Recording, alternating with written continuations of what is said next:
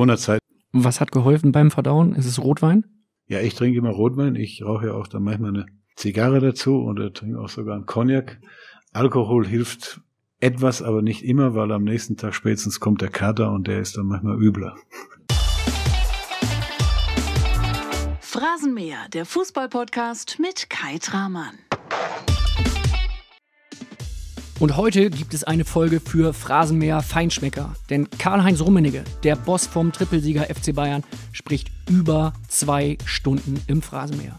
Wir sprechen über seine Beziehung zu Uli Hoeneß, wir sprechen über die Erwartungen an Oliver Kahn, wir sprechen über die Vertragsverhandlungen mit David Alaba, wir sprechen auch über Themen wie Katar und natürlich über verdammt viele Anekdoten, die Karl-Heinz Rummenigge in seiner Karriere schon erlebt hat. Nächste Woche in Teil 2, da sprechen wir dann über die Karriere als Spieler von Karl-Heinz Rummenigge, über den EM-Titel 1980, über seine Zeit in Italien. Karl-Heinz Rummenigge wird uns, kleine Phrasenmäher-Premiere, ein Liedchen trällern und viele Geschichten erzählen, die ich so noch nicht kannte. Das gibt es dann nächste Woche und heute gibt es Folge 1, Karl-Heinz Rummenigge im Phrasenmäher. Viel Spaß. München, Sebener Straße, Karl-Heinz Rummenigge.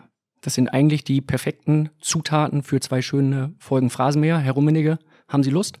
Ja, Lust habe ich immer. Vor allen Dingen bei dem schönen Wetter, was da draußen herrscht, jetzt hier in München und immer gerne. Wir sitzen an der Sebener Straße, wir sitzen in den Räumlichkeiten des FC Bayern München. Sind das so die Räumlichkeiten, wo David Alaba in Kürze seinen neuen Vertrag unterschreiben wird? Ja, das wünschen wir uns, dass David seinen Vertrag verlängert. Der Vertrag läuft ja noch bis zum 30.06.2021.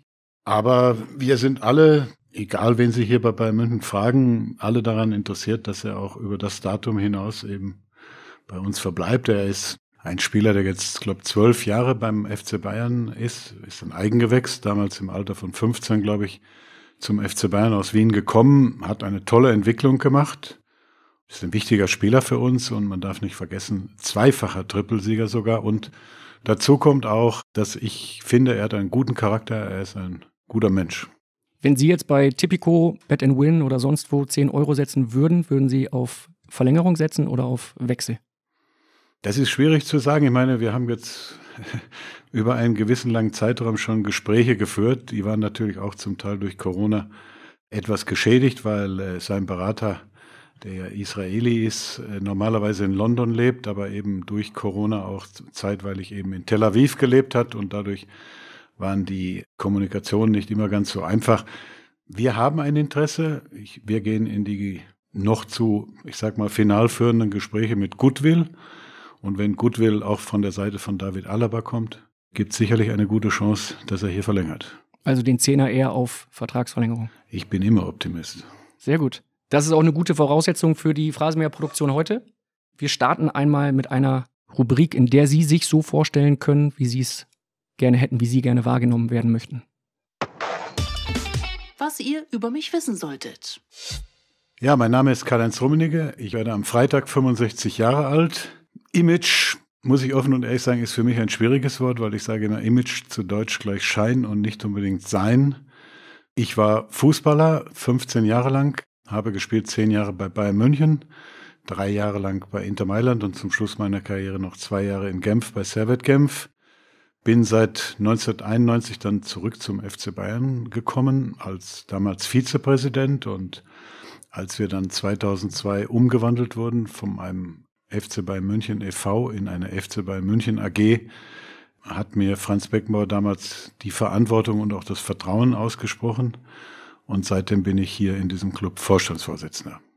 Das ist die perfekte Vorstellung. Wenn Sie sagen, sein ist Ihnen wichtiger als Schein. Wie möchten Sie denn gerne wahrgenommen werden? Wie möchten Sie gerne, dass die Öffentlichkeit sagt, so ist er? Ja, es ist natürlich schwierig für die Öffentlichkeit, ganz einfach zu sagen, wie ist er wirklich. Um einen Menschen, glaube ich, wirklich einschätzen zu können, müsste man ihn ja wirklich kennen. Und ich glaube, das Bild, was in der Öffentlichkeit, egal ob von mir oder von wem auch immer, vermittelt wird, ist ja ein bisschen oberflächlich. Also ich glaube, meine Familie kann mich richtig einschätzen. Ein paar gute Freunde können mich richtig gut einschätzen und auch vielleicht hier das Haus hier bei Bayern München. Ich glaube, ich möchte ein seriöser, rationaler, ehrlicher, natürlich auch erfolgreicher Mensch sein und das sind Ansprüche und Sie müssten vielleicht noch irgendwann einen Podcast mit meiner Frau führen, weil die kennt mich natürlich mit Abstand am besten. Ihre Familie, das darf ich schon mal vorwegnehmen, die hat mich äh, unterstützt bei dieser Podcast-Vorbereitung. Ist Ihnen das bekannt? Nee, ist mir nicht bekannt. Ich bin also völlig unvorbereitet jetzt hier sitzend und lasse alles mal auf mich zukommen, aber freut mich, dass die bereit waren, das mitzumachen. Auf jeden Fall. Doch, die mögen Sie sehr gerne. Also große Teile der Ja, Familie. ich sie auch. Ja, ja. Und das Nicht-Kennen können wir heute natürlich dann äh, korrigieren, indem Sie uns kennenlernen lassen, indem Sie zeigen, das bin ich wirklich. Und zuallererst gehe ich ein bisschen in Vorleistung und lasse Sie einmal ganz offen und ehrlich, wie Sie gerade schon gesagt haben, über uns urteilen, über die Bild. Das Bildbashing. Ja, ich denke, Bild ist das wahrscheinlich wichtigste Medium in Deutschland. Nicht nur qua Auflage, sondern auch qua Meinungsbildung. Und ich glaube, jeder hat mit Bild solche und solche Erfahrungen gemacht.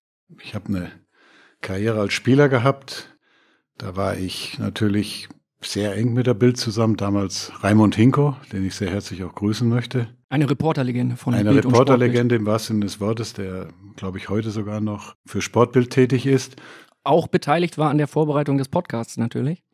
Raimund ist mir heute ein Freund geworden. Früher haben wir auch manchmal uns gezofft, ganz einfach, wenn irgendwelche Artikel mir natürlich nicht gefallen haben. Aber ich glaube, ich bin heute im Alter etwas entspannter mit Artikeln, weil ich glaube, man muss akzeptieren ganz einfach, dass man hin und wieder auch kritisch gesehen wird, wo Kritik angebracht wird. Und der FC Bayern ist natürlich in der Öffentlichkeit als Club bekannt, der sehr polarisiert. Und wir hier sind alles neben den Spielern, neben den Trainern auch irgendwo natürlich in gewisser Art und Weise mit Protagonisten. Und das muss man sich gefallen lassen, glaube ich. Ich war mal aktiv als Bildreporter an der Sebener Straße und habe nach einem Spiel in St. Petersburg, 2008 ist es gewesen, sie sind ausgeschieden damals, in der Europa League, beziehungsweise damals noch im UEFA Cup, haben wir eine Überschrift veröffentlicht, sind Kalle und Uli zu alt für die großen Titel. Aus heutiger Sicht kann ich sagen, die Überschrift war nicht die allerbeste. Damals haben sie ein Jahr lang nicht mit mir gesprochen. Ja, damals war ich ja noch sehr, sehr nachtragend. Uli ist, glaube ich, ähnlich, sage ich mal, wie ich in der Beziehung. Wir waren natürlich sauer, weil wir, wie alt war ich damals? Wenn ich das zurückrechne, war ich gerade mal Anfang 50. Da war man nicht unbedingt natürlich begeistert von so einer Geschichte und ich weiß nicht, ob wir jemals zu alt waren. Ich fühle mich eigentlich heute, obwohl ich jetzt 65 bin, das ist natürlich schon ein statthaftes Alter, fühle ich mich auch nicht äh, unbedingt alt, weil ich glaube, Uli als auch ich, wir hatten immer einen Vorteil. Wir haben durch diesen Umgang mit den Spielern, mit den jungen Leuten ganz einfach uns ein Stück Gedankengut der Jugend auch zwangsläufig anpassen müssen. Diese Geschichte gehört auch nicht zu meinen Top 3, zu meinen persönlichen Top 3, war ein bisschen daneben. Es sei Ihnen ähm, verziehen. Vielen Dank. Und Sie haben es gerade angesprochen, junge Leute. Wir hören jetzt ganz junge Leute, denn wir hören Teil aus Ihrer Familie. Sie haben mit Ihrer Frau Martina fünf Kinder. Sie haben fünf Enkelkinder. Wir haben fünf Enkelkinder, Fünf Enkelkinder? mittlerweile und das Nummer sechs ist in der Laufbahn. Wann ist es soweit? Ich glaube, so in guten fünf Monaten. Also die Familie Rummenigge verbreitet sich im großen Stil. Sehr gut. Ihre Enkelkinder wollen schon mal gratulieren zum 65. Geburtstag, den Sie am Freitag feiern werden. Wir hören mal rein. Die erste Nachricht kommt von Ihrem Enkel Filou. Ha Hallo, o Opa, alles Gute zum Geburtstag. Sein lieber Kerl, der ist in Los Angeles geboren damals noch. Meine Tochter hat mit ihrem Mann oder mit der Familie damals in Los Angeles gelebt und er ist Enkelkind Nummer drei, ist jetzt drei Jahre alt und ist ein lieber, hübscher Kerl. Also wir spielen manchmal Fußball. Sein Bruder ist, äh, heißt Dante. Der kommt vielleicht noch, kann ich mir vorstellen. Definitiv. Dante spielt auch Fußball beim TSV Grünwald und in diesen Corona-Zeiten durften die ja nicht trainieren. Und Dante hat mich dann irgendwann hier im Büro angerufen und hat gesagt, oh, bei uns ist so langweilig. Kannst du nach der Arbeit kommen und dass wir im Garten Fußball spielen? Und dann bin ich von dem Tag eigentlich regelmäßig zu ihm in den Garten gekommen und wir haben bei schönem Wetter, was ja im April glücklicherweise geherrscht hat, trainiert und er hat offensichtlich davon auch ein bisschen partizipiert. Er schießt heute beim TSV Grünwald regelmäßig Tore.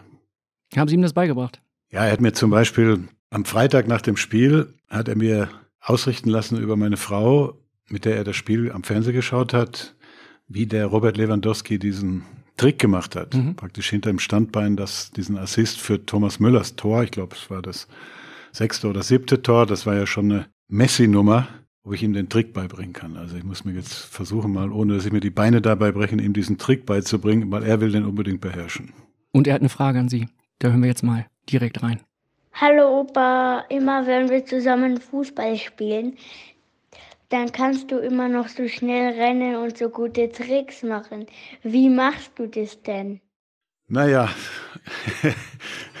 Dante ist ein lieber, lieber Kerl, einer meiner besten Freunde auch, weil man mit ihm wirklich schon ganz vernünftig und gut sprechen kann. Wie mache ich das? Mit der Schnelligkeit, ich war immer schneller als Spieler, muss ich sagen. Das war wahrscheinlich mein, mein größter Vorteil. Ich habe, glaube in meiner besten Zeit die 100 Meter sogar unter 11 Sekunden gelaufen, wobei man natürlich im Fußball die 100 Meter läuft. Technisch war ich eigentlich für die damalige Zeit für einen deutschen Spieler auch ganz ordentlich. Hatte speziell ein gutes Dribbling und auch äh, einigermaßen Tore erzielt. Ich hatte einen guten Trainer, muss ich sagen. Mein bester Trainer war nicht der erfolgreichste, aber war mein bester Trainer und auch einer meiner größten Freunde dann anschließend Detmar Kramer. Kam hierher, im, als ich 18 Jahre alt war und hat dann nach einem Monat Training hier zu mir gesagt, wenn du nicht in spätestens zwei Jahren Nationalspieler bist, trete ich dich in den Arsch.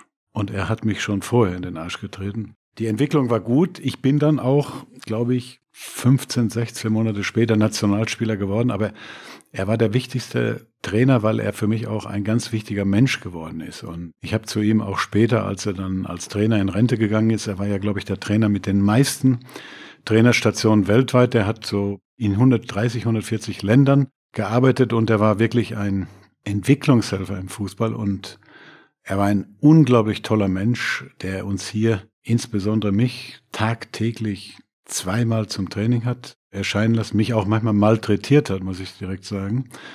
Abends dann mit mir zum Italiener gegangen ist und mir dann erzählt hat, wie er mit Idi Amin Löwen gejagt hat, als er mal in Uganda Trainer war. Und das war ein toller Mensch, von dem ich unglaublich viel gelernt habe und der für mich ganz wichtig war. Ihr Enkel heißt Dante. Wahrscheinlich benannt nach dem Spieler Dante. Ja, das stimmt. Der Dante, also der bei uns die Champions League ja auch 2013 gewonnen hat, war natürlich ein, muss ich sagen, toller Typ. Und meine Tochter heißt Ricarda.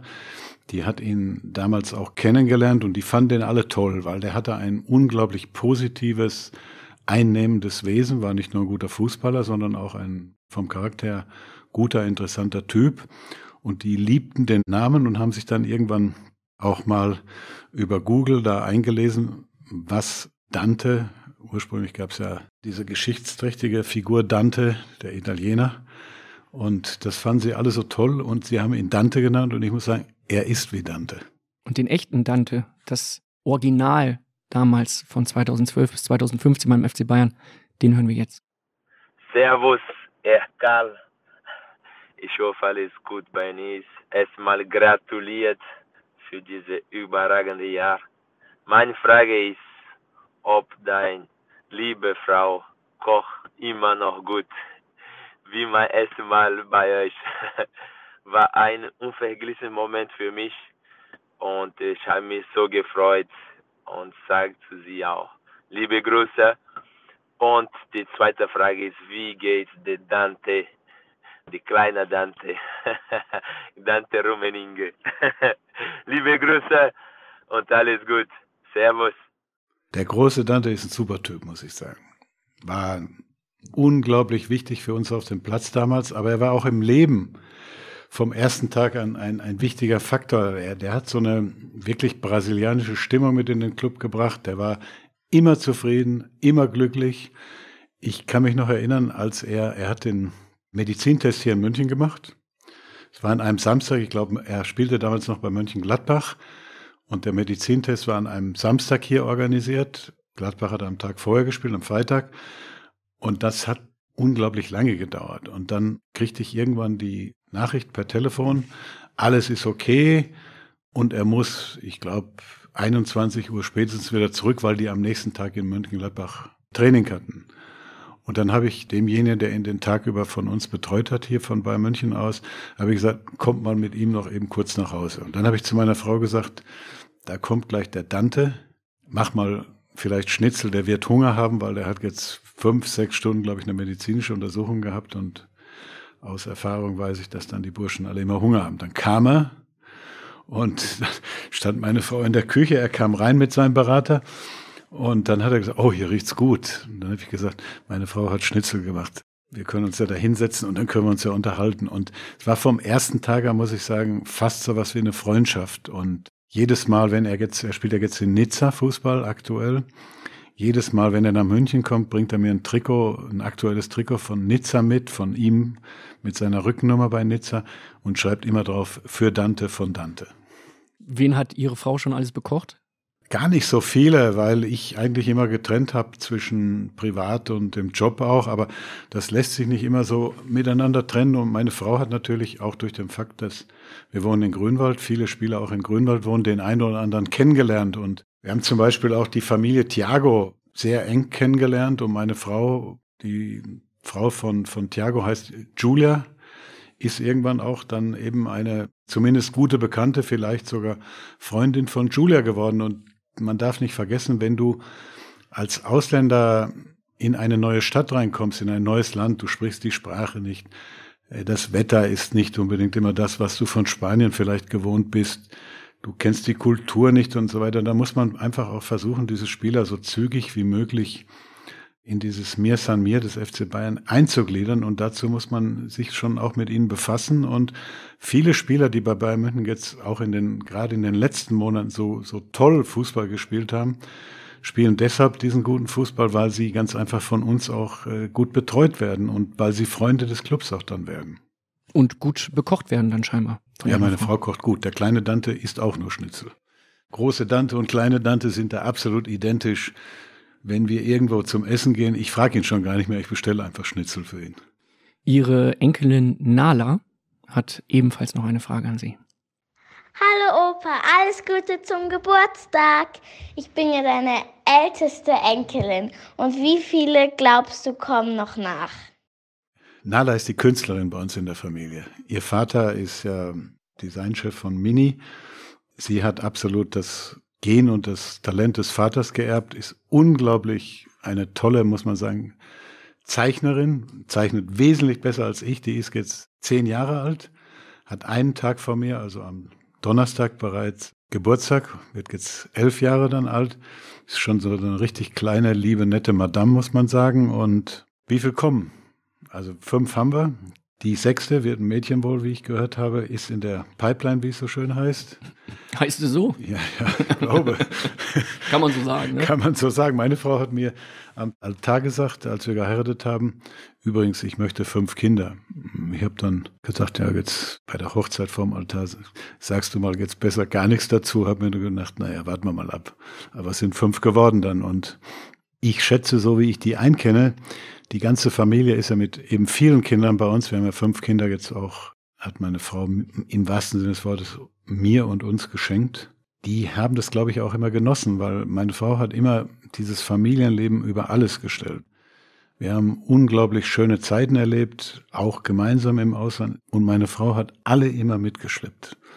Das habe ich immer an ihr bewundert, egal was wir gemacht haben, ob wir in Urlaub gefahren sind, ob wir zum Essen gegangen sind sie wollte immer, die, dass alle Kinder dabei sind und dieser Familiensinn bei uns ist extrem ausgeprägt und das halte ich auch für ein wichtiges Gut und das ist für mich auch wichtig, weil der Fußball ist natürlich ein unglaublich emotionales, manchmal auch verrücktes Leben.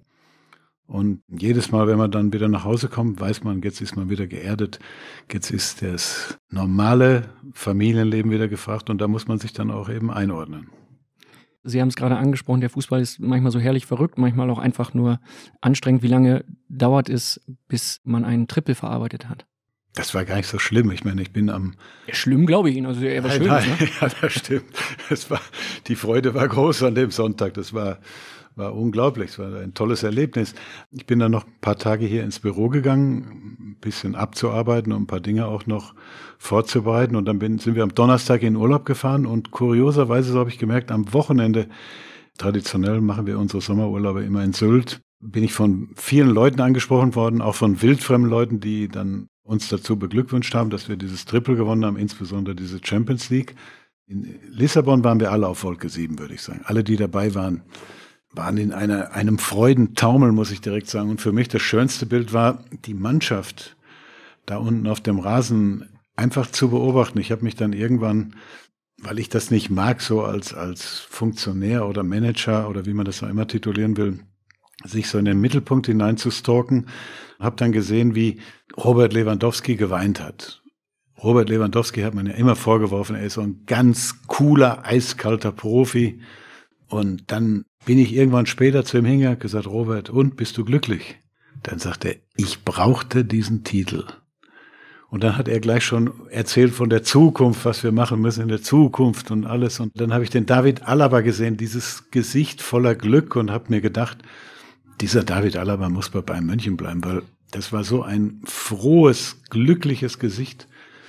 Stolz, wie ich ganz selten irgendetwas erlebt habe. Wir haben sowieso eine Mannschaft vom Charakter her, die einzigartig ist. Es wird ja immer heute den Spielern so vorgeworfen, dass es ihnen nur um die Kohle geht, nur ums Geld. Und das ist wichtig, darüber brauchen wir auch nicht sprechen, aber das war schon auch vor 20, 30 Jahren wichtig. Da darf man kein Pharisäer sein.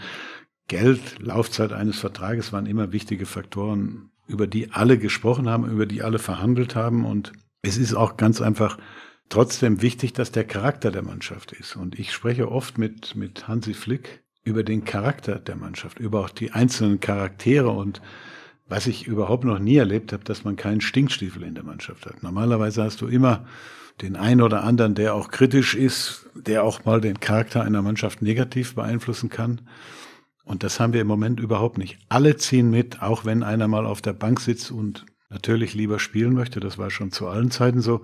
Keiner macht Zirkus. Alle ordnen sich dem Erfolg unter. Wer war denn der letzte Stinkstiefel beim FC Bayern? Ja, wir hatten einige, aber ich möchte jetzt keinen beleidigen. In der Mitte steht die Hupe. Sie kennen die Phrase mehr Hupe? Nein, ja, dann drücke ich jetzt mal die Hupe. Jetzt dürfen Sie sie noch einmal benutzen, ne? Ziemlich früh verschossen jetzt, das erste Pulver. Ja, wichtig ist, dass es nicht verschossen ist. Ich habe ja Elfmeterschießen dürfen hin und wieder früher. Wichtig war immer kein Elfmeter verschießen. Das sagen Sie mal Uli Hoeneß. Das war auch nicht ganz korrekt. Der arme Kerl war fix und fertig nach dem Spiel, da in Belgrad, 1976 war das, glaube ich. Und eigentlich sollte ja der Franz schießen. Nur der Franz war immer clever. Der hat immer die anderen vorgeschoben. Der Uli war dann derjenige, der schießen musste, dann den Ball leider verschossen hat. Aber der Franz hat ihn eigentlich da reingedrängt. Und Uli war auch, das hat man hier im Training gesehen, nicht unbedingt der beste aller Elfmeterschützen. Die Entscheidung von Helmut Schön war nicht unbedingt glücklich, würde ich sagen. 76, Sie haben es angesprochen, der Elfmeter soll immer noch unterwegs sein von ihm.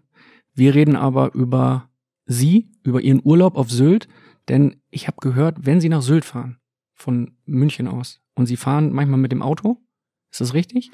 Bin ich auch schon, letzte Zeit ja. weniger, weil die Fahrt immer unkontrollierter wird. Erstmal haben wir festgestellt, unterwegs, es gibt kaum noch eine Autobahn ohne Baustellen im Moment. Und dazu kommt, wir haben einmal die Strecke, meine Frau fährt dann immer, die lässt mich nicht. Das wäre die Frage gewesen. Ich habe nämlich gehört, Ihre Frau ist die bessere Autofahrerin. Wesentlich. Ja? Die lässt mich auch nicht ans Steuer, weil sie Warum? kein Vertrauen zu mir hat. Was haben Sie denn gemacht?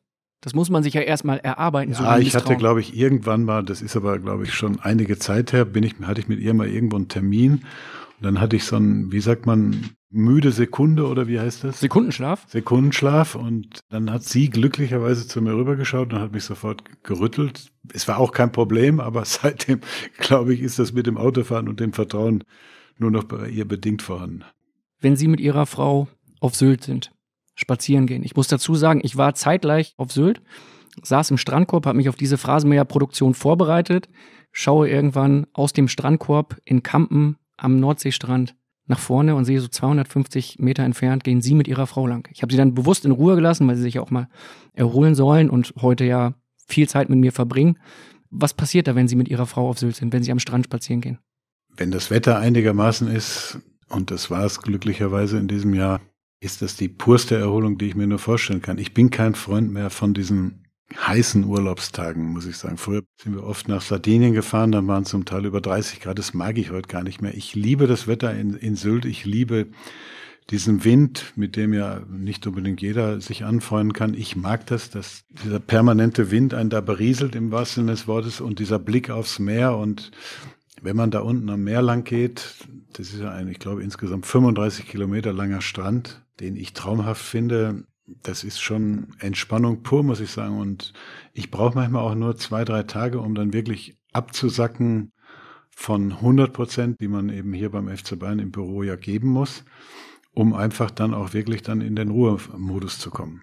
Da ist der FC Bayern, da ist die Bundesliga dann komplett weit weg von Ihnen? Nein, der FC Bayern ist nie weit weg. Ich meine, wir haben immer irgendwie Entscheidungen zu fällen und ich habe mir angewöhnt, dann eigentlich so gegen 10 Uhr mit dem Büro fast jeden Tag zu telefonieren. Und es gibt Themen wie Transfermarkt, es gibt Themen wie in Corona-Zeiten Finanzen etc. etc. Es gibt immer irgendwas zu besprechen, aber es gibt dann auch so ab 12 Uhr spätestens Ruhe und dann fahre ich mit dem Fahrrad zum Strand und gehe dann bis zur Buhne 16 oder, oder ich bin oft auch bei meinem Freund Herbert Seckler an der Sansibar. Das ist für mich der größte Genuss, weil da kann man am besten essen, hat diesen tollen Blick aufs Meer, hat diesen tollen Blick da auf die Landschaft. Das ist für mich eigentlich der schönste Ort auf Sylt, die Sansibar. Kann man noch mal gut ein Bierchen trinken, ne? Oder gibt es dann eher Wein? Der hat den besten Wein, würde ich sagen, den ich kenne. Und er ist wirklich ein guter Freund von mir. Und er fragt mich schon gar nicht mehr, was ich trinken soll, sondern er bringt mir automatisch irgendwas. Und das ist für mich lukulisch gesehen oder vom Essen her das Beste, was man sich nur wünschen darf. Der Podcast-Hörer kann es jetzt leider nicht sehen, aber Ihre Augen leuchten richtig bei dem Wein. Ja, weil äh, der hat so eine Vorspeisenkarte, muss man direkt sagen. Ich esse bei ihm auf fast weitestgehend nur Vorspeisen. Und die Vorspeisen alleine sind schon, ich würde mal sagen, den Besuch der Sansibar alleine wert. Der hat 364 Tage im Jahr offen, ist 364 Tage im Jahr ausverkauft. Also das ist, glaube ich, auch der Beweis, wie nicht nur ich das sehe, sondern viele Leute, in, die eben auf Sylt ihren Urlaub verbringen oder ihn besuchen. Haben Sie mit Ihrer Frau wie nach dem Champions League-Sieg 2013, nach dem Triple 2013, wieder zu Frank Sinatra getanzt zu Hause? Nee, habe ich jetzt nicht. Wir haben damals auch nicht zu Hause getanzt, sondern als wir aus London zurückkamen, hatten wir noch ein Abendessen mit der Mannschaft im Upside East heißt das, glaube ich. Dann war so ein Disc-Jockey da und irgendwann hat er die Spieler oder alle, die noch eben da waren, gefragt, ob man irgendeinen einen Wunsch hat. Und dann habe ich, als wir geheiratet haben, hat meine Frau sich gewünscht, Kesera. Doris Day? Doris Day. Aber ich habe diesmal Feels Like in Heaven, weil ich mich wirklich, es geht nicht schöner, nicht besser als das, was wir da in Lissabon erlebt haben. Es war auch nicht nur das Finale alleine, sondern es war diese ganze Zeit, diese ich glaube, wir waren zehn Tage ja. In den zehn Tagen haben wir drei Spiele gespielt. Und die ganze Zeit, wie ich das erlebt habe, diese Harmonie, natürlich auch diesen Erfolg, aber auch alles war wie vorbereitet, dass du Champions League gewinnst. Und das war, war ein Genuss, muss ich sagen, mit dieser Mannschaft, mit diesem Trainer, dann auch diesen Erfolg genießen zu dürfen. Und dann haben sie getanzt. Nein, meine Frau war ja nicht in Lissabon. Die, Ach, am nächsten Tag habe ich dann kurz das Bein geschwungen. Sie hätten ja mit Uli Hoeneß tanzen können. Aber Uli und ich sind ganz schlechte Tänzer, kann ich Ihnen sagen. Und vor allen Dingen fürchte ich, wenn wir zusammen tanzen. Wahrscheinlich würden beide führen wollen, oder? Nein, das glaube ich ja. Ich kann nicht führen, ob er führen kann, er zieht sich meiner Kenntnis. Wir haben ja nie zusammen getanzt, aber er ist möglicherweise der wesentlich bessere Tänzer als ich. Ich habe zwei Schwächen. Sportlich gesehen, meine schwächste Sportart ist Schwimmen und zum Leidwesen meiner Frau Tanzen. Meine Frau ist eine leidenschaftliche Tänzerin, tanzt auch top und hat sich leider in der Beziehung wahrscheinlich nicht unbedingt den besten Ehemann ausgesucht. Diese Glückseligkeit in Lissabon, wer meldet sich alles nach einem Triple? Wer gratuliert da alles? Puh, eigentlich ganz Fußball-Europa, muss man sagen. Ich habe durch die lange Zeit, die ich jetzt im Fußball ja tätig bin, unglaublich großes Netzwerk. Das sind auch nicht alles nur Freunde. Das sind auch viele Bekannte dabei oder Präsidenten von anderen Clubs, die ich kenne. Aber es war schon erstaunlich. Ich schätze, ich habe so an dem Tag und am Tag danach so 250 WhatsApps schon auf meinem Account drauf gehabt. Also, und da ich alle wirklich beantworte, mussten die dann ein paar Tage warten, bis ich dann wieder in der Verfassung auch war, um richtig normal zu antworten. Sie haben alle Nachrichten beantwortet? Beantworte immer alle Fragen. Das zeichnet mich aus. Es wundert oft viele Menschen, die meine Nummer haben, dass sie sagen, der antwortet immer. Da habe ich gesagt, ja klar, das ist alleine Respekt und Höflichkeit. Hut ab. Welche ganz besondere Nachricht, die Sie bekommen haben, die Ihnen vielleicht besonders viel bedeutet hat, können Sie hier und jetzt mit uns teilen? Ja, der Präsident von Real Madrid, mit dem ich gut befreundet bin, der hat mir eine, ja, ich würde fast sagen, sehr emotionale, aber auch gleichzeitig sensible geschrieben, weil ich mache ja jetzt diesen Job jetzt noch, glaube ich, so ziemlich genau 15 Monate, dann höre ich auf. Und es gibt ja eigentlich auch nichts Schöneres, wenn man dann nochmal zum Abschluss seiner Karriere so einen Erfolg miterleben darf. Und das ist natürlich etwas, was er ja auch weiß und und jeder, glaube ich, der in diesem Job tätig ist, weiß das auch richtig einzuordnen. Und das war etwas, wo ich mir gedacht habe, ihm freut es, weil er auch diesen Erfolg nicht nur dem Club, sondern auch mir eben gönnt. Eine ganz besondere Nachricht, jemand, der Ihnen gratulieren möchte, kommt jetzt. Die Nachricht ist 14 Sekunden lang, beinhaltet drei Sprachen und kommt von einer Legende. Wir hören Luca Toni. Hey Kalle, here is Luca Toni. You have to explain to us how you always change important player, but you are always at the top. You are the number one. Un grande abbraccio, il mio unico vero presidente. Ciao Kalle. Ich, ich übersetze es mal ganz kurz. Du musst uns erklären, wie du ständig wichtige Spieler austauscht und trotzdem immer an der Spitze bleibst. Du bist die Nummer eins, eine große Umarmung, mein einzig wahrer Präsident. Ja, ich meine, Präsident bin ich nicht. Das ist Herbert Heiner. Vorher war es Uli Hoeneß. Ich nehme auch diese Meriten nicht für mich allein in Anspruch. Ich sage immer, wenn man Erfolg hat, dann ist es ja ein Räderwerk, das ineinander greift und das am Ende des Tages auch dafür Sorge tragen muss, dass dieser Club eben Erfolg hat. Wir haben, manchmal frage ich mich auch, wie das immer alles funktioniert. Man darf ja nicht vergessen, seit 50 Jahren ist dieser Club jetzt wirklich immer top of the top gewesen. National, aber auch oft international und das sind einfach dann natürlich auch, ist es verbunden mit vielen Personen und ich habe hier von vielen Personen auch viel lernen dürfen. Ja, ich bin aus dem kleinen Städtchen Lippstadt nach München gekommen, damals im zarten Alter von 18 und musste lernen. Und einer meiner Vorteile war immer, dass ich eine große Ratio hatte und immer bereit war zu lernen. Und das hat mich bis zum heutigen Tag auch immer motiviert und, und ganz einfach auch getrieben. Früher waren das tolle Spieler, die wir hier bei Bayern München hatten. Man konnte von einem Franz Beckenbauer nur lernen. Ich habe, glaube ich, im ersten Jahr keine 100 Sätze wahrscheinlich gesprochen, aber ich habe immer zugehört, wenn Franz gesprochen hat, wenn Uli gesprochen hat, wenn Sepp gesprochen hat oder wie die auch immer, weil man konnte von diesen Leuten einfach nur immer auf Dinge aufschnappen, um sich dann einfach auch auf dem Platz zu entwickeln. Und später, als wir dann hier zusammengearbeitet haben, ja, wir hatten eine unglaublich verrückte Zeit über Bayern München, als wir in den 90er Jahren zurückkamen. Der Club war nicht erfolgreich, es war kein Geld mehr da. Franz und ich kamen zurück, Uli und Karl Hopfner waren Geschäftsführer. Wir mussten den Club ganz schön im Schnelldurchlauf wieder neu aufstellen und das war eigentlich eine, eine spannende, interessante Zeit damals und kann mich noch erinnern, 1994 waren wir dann mit dem Trainerpräsidenten Franz Beckenbauer, deutscher Meister, und der Franz war ja, der war ja in allem immer genial. Und dann, was mir immer an ihm gefallen hat, er war nie zufrieden.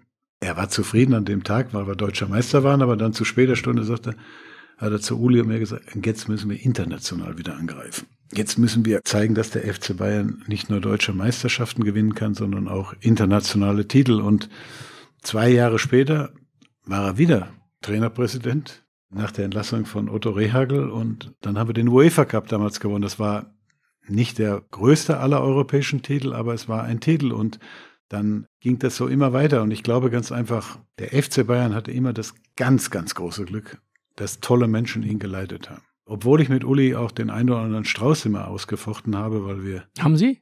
Ja, haben wir. Überraschend. Ja, ja, ganz ja. überraschend. Nein, wir haben auch den einen oder anderen Strauß mal auseinandergewalt, weil wir einfach auch diese bayerische Diskussionskultur manchmal auch übertrieben haben, würde ich sagen, aber wir haben immer eins gemeinsam gehabt. Wohl und Wehe des FC Bayern. Wir wollten immer den Erfolg und ich sage ganz zielbewusst, zwei Leute haben die Kultur und die Geschichte des FC Bayern am wichtigsten beeinflusst. Nummer eins Franz Beckenbauer, egal ob Spieler, Trainer, Präsident, alles, was er gemacht hat, wurde zu Gold. Und der zweite war Uli, weil ich glaube, ich kann das auch am besten beurteilen, weil als Spieler war er schon, war gut, hatte dann leider. Bis Pech. auf Elferschießen? Ja, gut, das passiert. Ist, ist wahrscheinlich jedem mal passiert. Aber er hat sich dann eine schwere Knieverletzung zugezogen, musste aufhören und wurde, glaube ich, damals mit 28 Jahren oder was, 1979 Manager hier. Wir hatten keinen Manager. Wir hatten vorher einen Top-Manager in Form von Robert Schwan.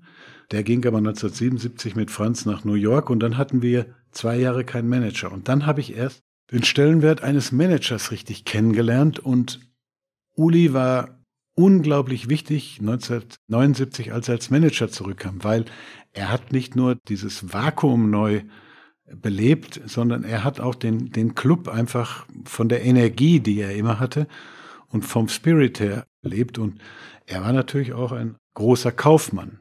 Ja, er wusste, um Erfolg zu haben, brauchst du Geld, musst du dir holen in Form von Sponsoring oder klugen Transferentscheidungen. Und er war ein ganz, ganz wichtiger äh, Mensch hier in der Erfolgsgeschichte bei München auch, neben Franz.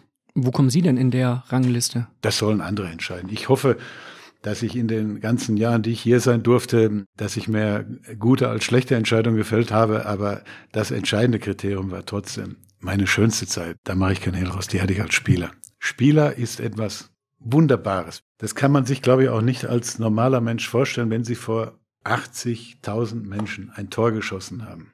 Diese innere Explosion, dieses Glücksgefühl mit den Fans, mit den Mitspielern. Abends sind wir dann oft noch früher in die Diskothek und haben da abgehangen und gefeiert zum Teil. Das ist etwas, das erlebst du nur als Spieler. Und was wir jetzt machen, wir müssen dafür Sorge tragen, dass wir die Voraussetzungen bestmöglich gestalten, dass die Mannschaft mit dem Trainer Erfolg haben kann. Das ist unsere Aufgabe, aber konkludieren, wie es so schön heißt, ausführen oder exekutieren muss die Mannschaft mit dem Trainer. Jemand, der viele Tore geschossen hat, ist der Fragesteller Luca Toni. Er sagt, mein einzig wahrer Präsident oder mein einzig wahrer Boss. Was bedeutet das für. Ja, das hängt natürlich auch ein bisschen damit zusammen. Ich habe ja mal drei Jahre bei Inter Mailand gespielt und ich glaube, dass ich ganz ordentlich Italienisch spreche. Und Luca war natürlich keiner, der, der ich glaube, er war zwei, gut zwei Jahre hier. Wenn ich das, oder zweieinhalb Jahre hier, wenn ich das richtig im Hinterkopf habe, der hat eigentlich mit der deutschen Sprache, haben sich traditionell die Italiener immer sehr schwer getan, darf auch an Giovanni Trapattoni erinnern. Ich habe mit dem ein enges Verhältnis immer gehabt. Und wir sind heute befreundet. Und musste gerade schmunzeln, als er dann erst Englisch, dann Italienisch, das hat er ja immer gesprochen, aber auch ein bisschen Deutsch noch ein paar Sätze eingeführt hat. Er möchte unbedingt Botschafter bei Bayern München werden. Als er mich das letzte Mal hier besucht hat, dann habe ich gesagt, kann ich mir vorstellen, unter einer Conditio, du musst gut Englisch sprechen, weil wir natürlich auch oft ganz einfach unsere Botschafter, wie der Name schon sagt, in andere Länder schicken, um dort für uns zu unserem Wohle tätig zu sein. Und du musst ordentlich Deutsch sprechen. Und wie man sieht, scheint er. Er lernt schon. Bewirbt ist, sich quasi. Er, er, ist praktisch jetzt auf einer, auf einer Bewerbungsstufe schon. Ist es so, dass wenn ein ehemaliger Bayern-Spieler sagt, ich möchte Botschafter werden, dass sie dann erstmal sagen, Moment, folgende Bedingungen musst du erfüllen. Wie viele potenzielle Bewerber gibt es da? Wie viele potenzielle Botschafter? Ja, ich glaube, potenzielle Bewerber gibt es viele, aber wir müssen das ja nach gewissen Kriterien einfach auch ordnen. Es müssen ja schon Spieler sein, die auch noch im Bewusstsein der Leute heute sind. Und ich glaube, Luca Toni wenn der jetzt hier über die Straße geht, qua Gestalt, qua. Muss ich nur einmal am Ohr schrauben, ne? Dann. Einmal am Ohr schrauben, dann werden sich die Leute erinnern. Aber Botschafter haben natürlich auch die Aufgabe, ganz einfach dann mit Sponsoren, mit unseren Leuten aus dem sportlichen Bereich gewisse Dinge zu machen. Dazu müssen sie ganz einfach auch Sprachen sprechen. Seit einiger Zeit arbeiten wir zum Beispiel mit Giovanna Elber zusammen. Der hat natürlich den Vorteil, der spricht Portugiesisch als Brasilianer, der spricht Englisch, der spricht Deutsch, der spricht Italienisch, Spanisch, glaube ich. Also das ist eigentlich das, was dann hilft. Sie müssen Bekanntheitsgrad haben, Sie müssen Sprachen sprechen, Sie müssen gute Typen sein und Sie müssen auch wissen, wenn Sie Interviews geben, wie Sie Interviews zu geben haben und das wissen die alle. Gibt es da Absagen, die Sie dann mal aussprechen müssen, die auch vielleicht ein bisschen wehtun? Ich kümmere mich jetzt heute weniger um, sagen wir mal, diesen Job, als es früher der Fall war. Wir haben ja jetzt eine Abteilung Internationalisierung, die von Jörg Wacker, meinem Kollegen, geführt wird. Der arbeitet mit denen sehr eng zusammen und da werden dann Vorschläge erarbeitet. Aber das ist schon mittlerweile eine Gruppe, große Gruppe geworden, die auch die Aufgabe hat, die Profimannschaft, die erste Profimannschaft ein Stück zu entlasten, weil diese Repräsentationstermine werden immer mehr speziell mit den Sponsoren und um einfach die Spieler weitestgehend eben auf den Fußball fokussieren zu lassen, brauchen wir schon auch Botschafter, die eben diesen Bekanntheitsgrad haben und auch diese Qualitäten haben.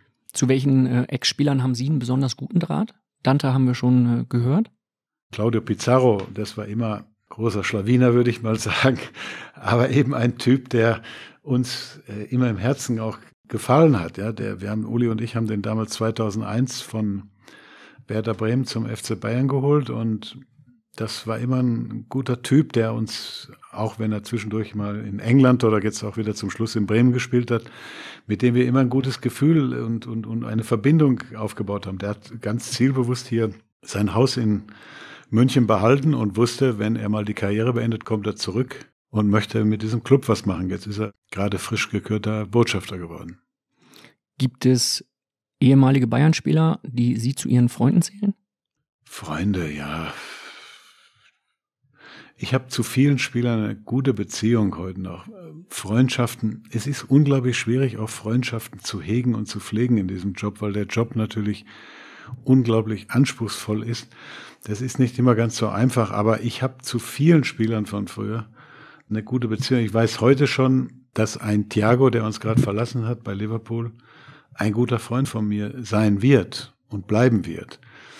Und ich sage, diese Spieler schätze ich auch. Der hat mit ganz offenen Karten gespielt, hat gesagt, ich möchte noch was Neues machen. Bayern München ist der beste Verein, den man sich wünschen kann. Wir haben eine tolle Mannschaft, alles. Und trotzdem wollte er noch eine neue Erfahrung machen. Ich habe am Sonntag da beim Spiel in Chelsea in London, habe ich mir extra das Spiel angeschaut, wegen ihm, er ist ja dann eingewechselt worden auch. Ich habe da schon auch eine kleine Träne nochmals verdrückt, weil ich gedacht habe, er war ein toller Spieler, er war ein toller Mensch oder ist ein toller Mensch zugunsten von Bayern München und das ist das, was dann schon auch hängen bleibt. Nicht nur der Erfolg auf dem Platz, sondern auch die Qualität des Menschen, mit dem man dann hier über Jahre, es waren ja immerhin sieben Jahre, mit dem wir hier zusammenleben durften. Und ich kann mich noch erinnern, wir haben den ja 2013 vom FC Barcelona hergeholt. Es war ein ganz schwieriger, komplizierter Transfer. Pep Guardiola hat ein Interview gegeben, hat Thiago oder nix.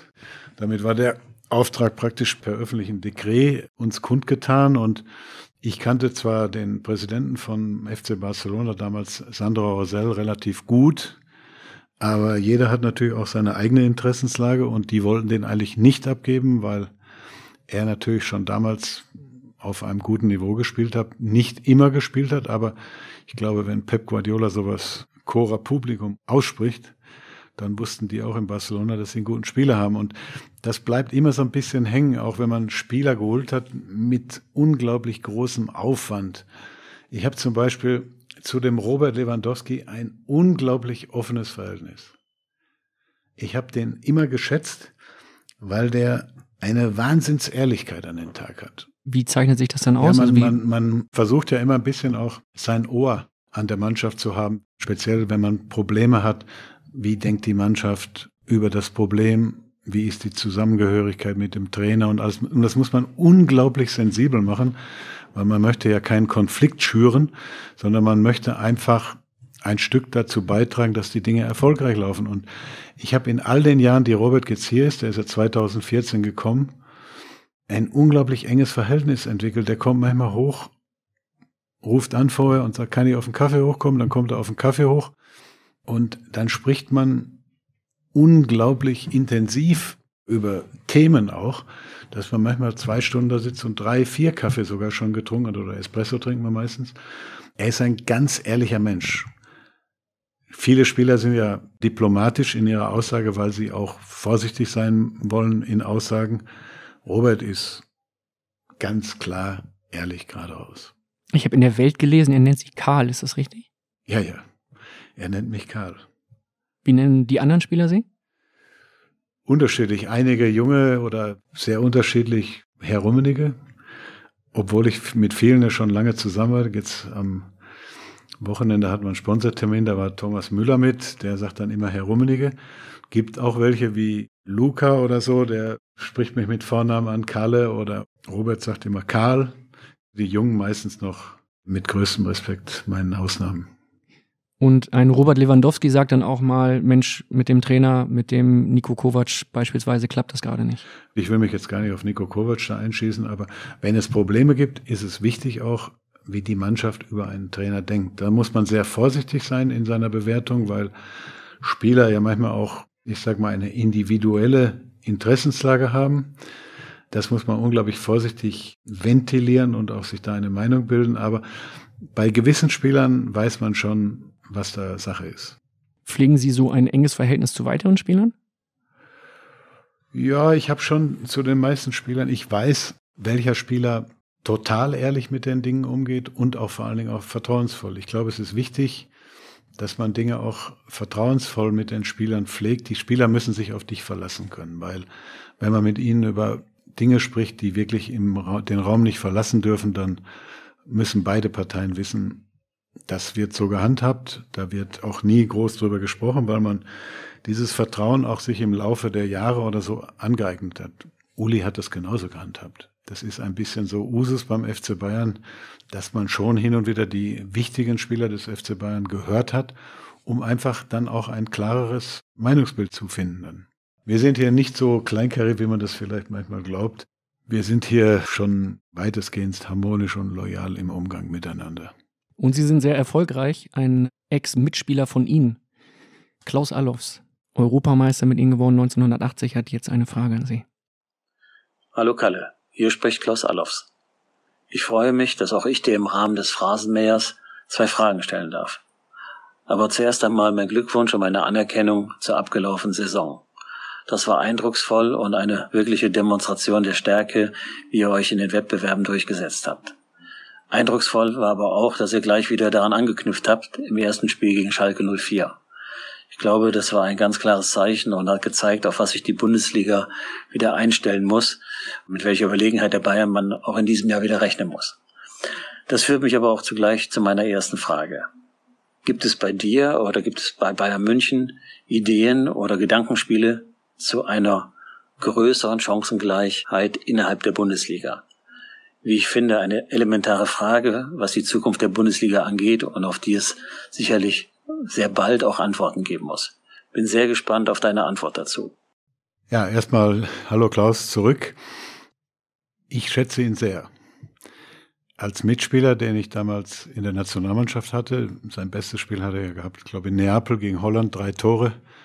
Dank dieser drei Tore waren wir praktisch fürs Finale schon qualifiziert nach dem zweiten Spiel und ich habe ihn immer auch geschätzt als Manager, insbesondere als er in Bremen war.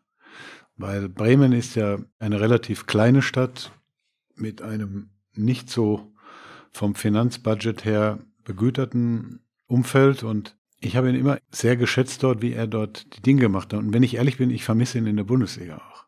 Ich wünsche ihm oder wünsche mir, der ist ja jetzt praktisch, wenn ich das richtig im Hinterkopf habe, in einem ähnlichen Alter wie ich, aber ich würde mir wünschen, dass er nochmal in die Bundesliga oder vielleicht, er kommt ja aus dem Ort Düsseldorf nochmal dort in einer ähnlichen Rolle wie seinerzeit bei Bremen angreifen würde, weil ich glaube, Leute wie er sind wichtig immer für das Gesicht der Bundesliga gewesen, weil sie eben auch zu seiner Frage einen großen Beitrag geleistet haben. Weil ich kann mich noch erinnern, als er bei Werder Bremen war, waren wir nicht immer deutscher Meister, wie das in den letzten acht Jahren der Fall war.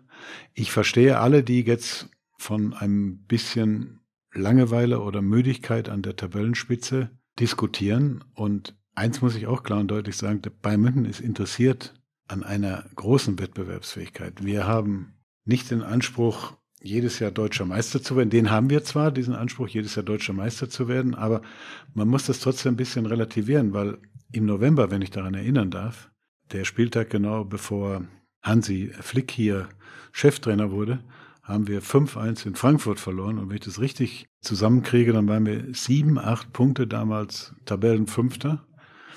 Und wir haben ihn, ich sage Ihnen auf dem Rückflug, größte Sorgen gemacht, dass wir uns für die Champions League qualifizieren, geschweige denn deutscher Meister werden. Und ich glaube, was wir erlebt haben hier in den letzten acht Jahren, ist per se schon mal etwas Unglaubliches, was ja auch noch nie historisch gesehen weder bei uns noch in der Bundesliga der Fall war.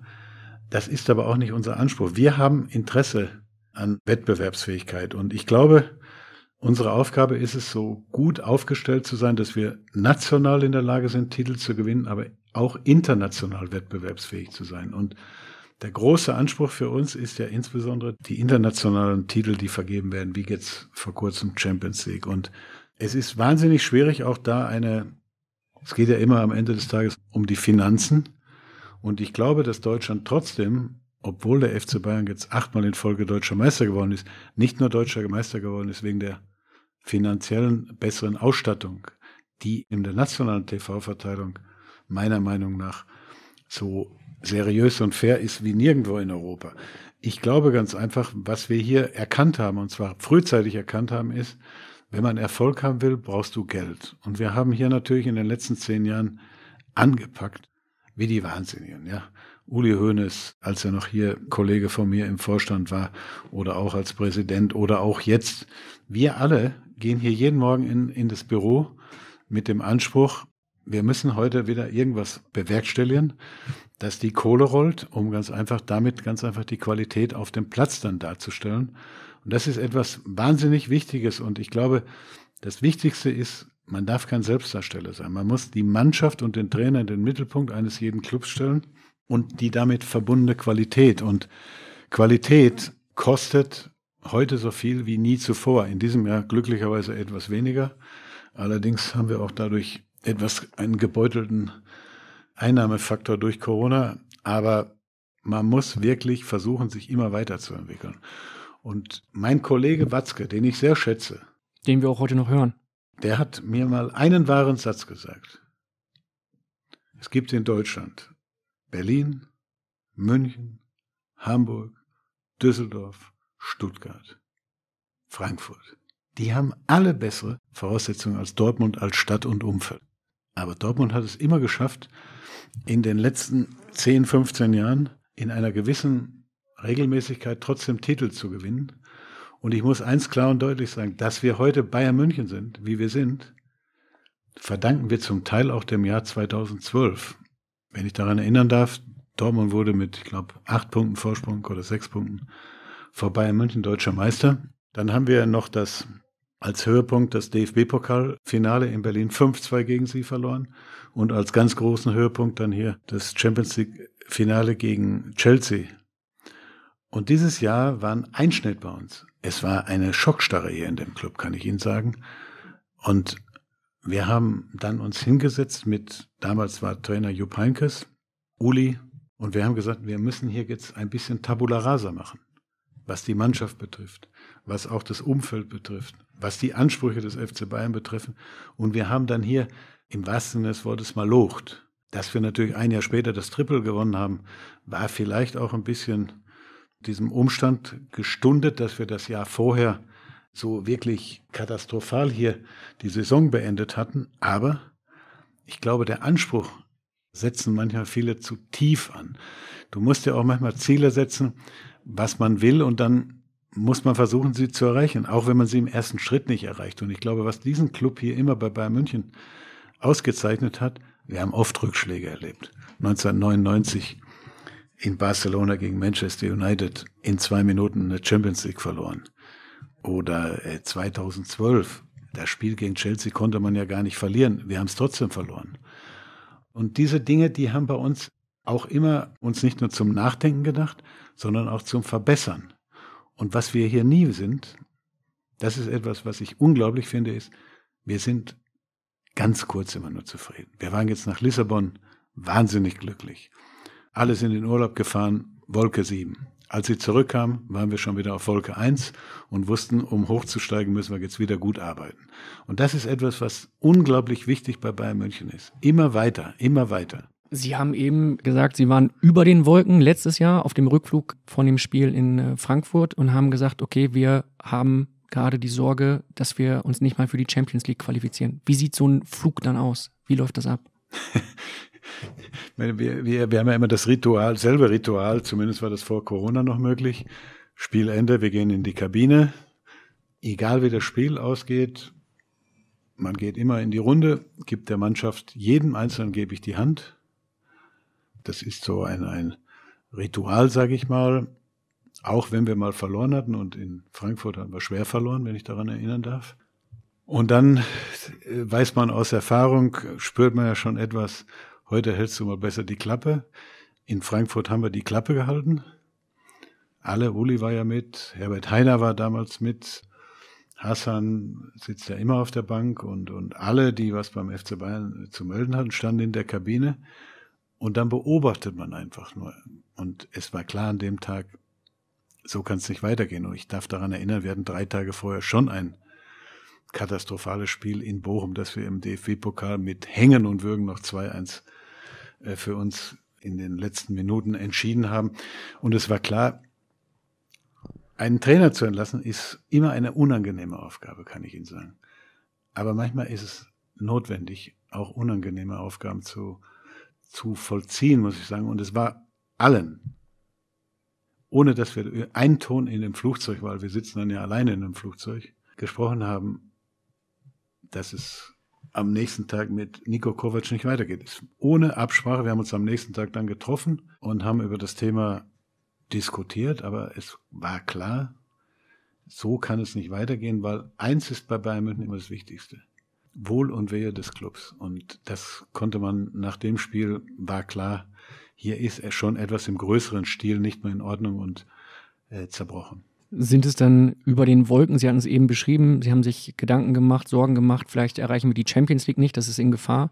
Da finden ja dann schon in irgendeiner Art und Weise Gespräche statt oder sind es Blicke, die man austauscht, wo Sie Uli Hoeneß anschauen und beide sich denken, okay. In solchen Momenten wird es natürlich sehr emotional. Im Kopf, im Bauch und wo auch immer. Und man muss dann schon auch sich ein Stück selbst disziplinieren, sage ich mal im wahrsten Sinne des Wortes, weil es macht keinen Sinn, dann da rumzupoltern an Bord oder irgendwelchen Zirkus zu veranstalten. Ich glaube, wir haben ein paar Erfahrungswerte, speziell Uli und ich. Wir haben ja auch schon Trainer entlassen am Spieltag, nach dem Spiel. Es war kein Fehler, aber es war vom Zeitpunkt her nie gut. Und kann mich noch erinnern, wir waren hier mal, äh, Franz Beckenbauer war Präsident und da hatten wir ein Spiel gegen Rostock Otto Rehagel war Trainer und wir hatten, glaube ich, drei oder vier Spiele in Folge verloren und es, es war klar, es war eine katastrophale Stimmung. Damals noch im Olympiastadion, die Leute haben gepfiffen. Du kamst in die Kabine, die Spieler haben sich da gegenseitig angemacht und alles und es war klar, so geht's nicht weiter. Wir konnten aber trotzdem noch, wenn wir eine Serie hingelegt hätten, deutscher Meister werden und wir waren noch im äh, Halbfinale im UEFA Cup. Und dann haben wir uns direkt hier getroffen an der Sebener Straße am Abend und es wurde dann entschieden, das, was unvermeidlich war, dass man sich von Otto Rehagel trennt. Und Franz hat dann sich bereit erklärt, den Job zu machen bis zum Saisonende. Aber es war zum ersten Mal, muss ich ehrlich sagen, als ich am nächsten Tag am Sonntag dann wach geworden bin, wo ich mir gedacht habe, die Entscheidung war richtig, aber sie war moralisch bedenklich. Und wir haben dann uns ja hier in den Tagen danach ein paar Mal noch getroffen. Alle waren der Meinung. Alle, egal ob Franz, Uli oder ich, wir haben alle gesagt, puh, das war eine, war zwar die richtige Entscheidung, unvermeidliche Entscheidung, aber sie war moralisch trotzdem bedenklich. Und das wissen wir bis heute. Und daraus lernt man dann und dann, man muss einfach sich die Zeit nehmen, dann mindestens ein, zwei Nächte drüber schlafen.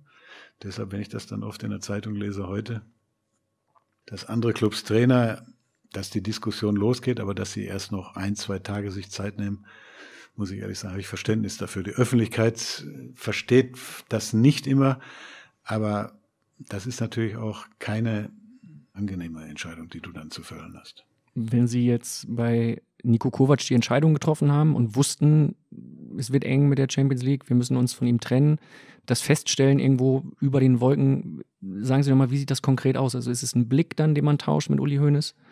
Was ist es genau?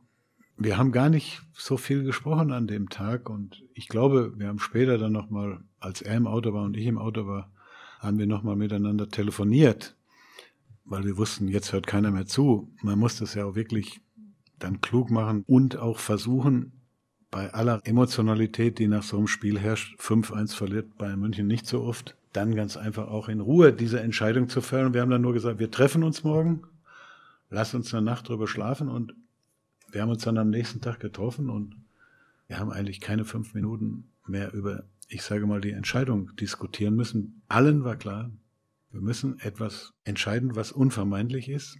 Wir haben dann auch gemeinsam entschieden, dass Hansi der Nachfolger wird und das war natürlich eine glückliche Fügung des Schicksals auch. Wie entscheiden Sie dann, wer die Nachricht an Niko Kovac überbringt? Schauen Sie sich dann an und sagen, okay, wer, wer sagt es ihm jetzt? Machst du es? Der Uli hat ihn angerufen und wir haben uns hier an der Sebener Straße, Hassan und ich, haben uns mit ihm getroffen, weil ich glaube, wir haben es immer versucht, stilvoll abzuwickeln. Es ist unangenehm, es ist natürlich nie nett, wenn man einen Menschen entlassen muss, Aber ich glaube, man muss es schon mit einem gewissen Stil machen und ich glaube, der Vorteil in dem Fall war, Nico war klar, dass es auch keinen Sinn macht für ihn weiter hier unter diesen Voraussetzungen Trainer zu sein. Und deshalb war das, das war eigentlich ein, muss man fast sagen, die entspannteste Trainerentscheidung damals, die ich miterlebt habe. Es ging auch schon mal emotional zu bei Jürgen Klinsmann. Da gab es dann auch schon mal das ein oder andere härtere Wort. Da war sein Medienberater dabei, Eitel heißt er, glaube ich. Da ist es dann auch schon mal etwas emotionaler, laut geworden, aber. Weil Jürgen Klinsmann eine andere. Ich glaube, er war, ich glaube, er war etwas überrascht. Wir hatten damals auch eine Problematik, die dann leider auch nicht mehr zu korrigieren war. Wir waren nicht mehr innerhalb der Champions League Ränge. Damals bei Jürgen haben sich nur, waren nur drei deutsche Mannschaften, die sich eben für die Champions League qualifizieren konnten. Wir waren Vierter und auch nach der Trainerentlassung sind wir nicht mehr unter die ersten drei Plätze gekommen. Aber du hast auch gemerkt, es hat keinen Sinn mehr. Jürgen hat die Mannschaft verloren und wir kommen auch jetzt, selbst wenn wir Geduld haben, und irgendwas bewerkstelligen. Wir kommen aus der Problematik nicht mehr heraus und dann ist es einfach die klügste Entscheidung, dann eben etwas Neues zu beginnen. Und das hat er anders gesehen? Ja, ich glaube, er war, den Eindruck hat er mir zumindest vermittelt, er war total überrascht, dass wir diese Entscheidung gefällt haben, dass wir uns von ihm trennen. Weil er gedacht hat, das geht ja alles ganz gut voran? Ja, wir hatten 1-0, glaube ich, oder 2-1, das weiß ich jetzt nicht mehr, verloren gegen Schalke 04 ein Heimspiel. Und, Vorher äh, hoch verloren in, in Barcelona in der Champions ja, League. Das, wir hatten, wir hatten ein paar Spiele, wo du gemerkt hast, es geht in die total falsche Richtung. Wir haben in Wolfsburg, glaube ich, 5-1 oder 5-2 verloren, die ja dann auch deutscher Meister geworden sind anschließend. Du spürst dann irgendwann, es entgleitet. Der Trainer hat die Mannschaft nicht mehr so im Griff, wie du das brauchst. Die Mannschaft glaubt nicht mehr dass man die Kurve zum Guten wieder hinkriegt und dann musst du leider reagieren, auch wenn es nicht gefällt. Wenn Jürgen Klinsmann dann emotional wird, werden Sie dann auch emotional? Also geht es da hoch her dann in dem Raum? Nein, hoch her ist es jetzt nicht gegangen, aber man hat schon die Enttäuschung bei ihm gespürt. Wenn man Trainer von Bayern München ist, möchte man natürlich bei Bayern München bleiben. Dafür habe ich Verständnis. Was hat er denn gemacht? Ja, Jürgen hatte immer so, sagen wir, so eine gewisse Gestik. Aber ich glaube, in dem Fall war der Medienberater derjenige, der etwas mit unserem Medienberater, der dabei war, in Anführungszeichen sich gefetzt hat. Das heißt, der damalige Mediendirektor Markus Hörwig und der Cleansea-Berater Roland Eitel haben sich dann gefetzt in ihrer Anwesenheit. Ja, gefetzt. Ich meine, man muss es ja nach außen verkünden und die zwei waren sich dann auch nicht in der, nehmen wir es mal im Wording, wie es so schön heißt, in allen Details einig. Aber es ist so, es ist so, das ist, ist nicht angenehm, aber manchmal eben nicht zu verhindern. Klinsmann ist dann nach einer Niederlage gegen Schalke entlassen worden. Am Wochenende haben Sie gegen Schalke nicht verloren, sondern eher sehr hoch gewonnen. Sitzen Sie eigentlich dann oben auf der Tribüne und wissen ab einem gewissen Zeitpunkt, okay, heute wird es wieder ein Schützenfest? Ja, ich, ich sag mal, das Spiel ist eigentlich unter komischen Voraussetzungen angefangen. Die ersten zehn Minuten habe ich gedacht, hoppla, weil da gab es zwei, drei, würde ich sagen, gute Ansätze von Schalke, offensiv. Sie haben ziemlich hoch gepresst und, und damit auch unser Spiel schon am Anfang, sag ich mal, nicht ganz so einfach gemacht. Das ganze Spiel ist gekippt wie gegen Lyon in der Champions League mit dem Tor von Serge.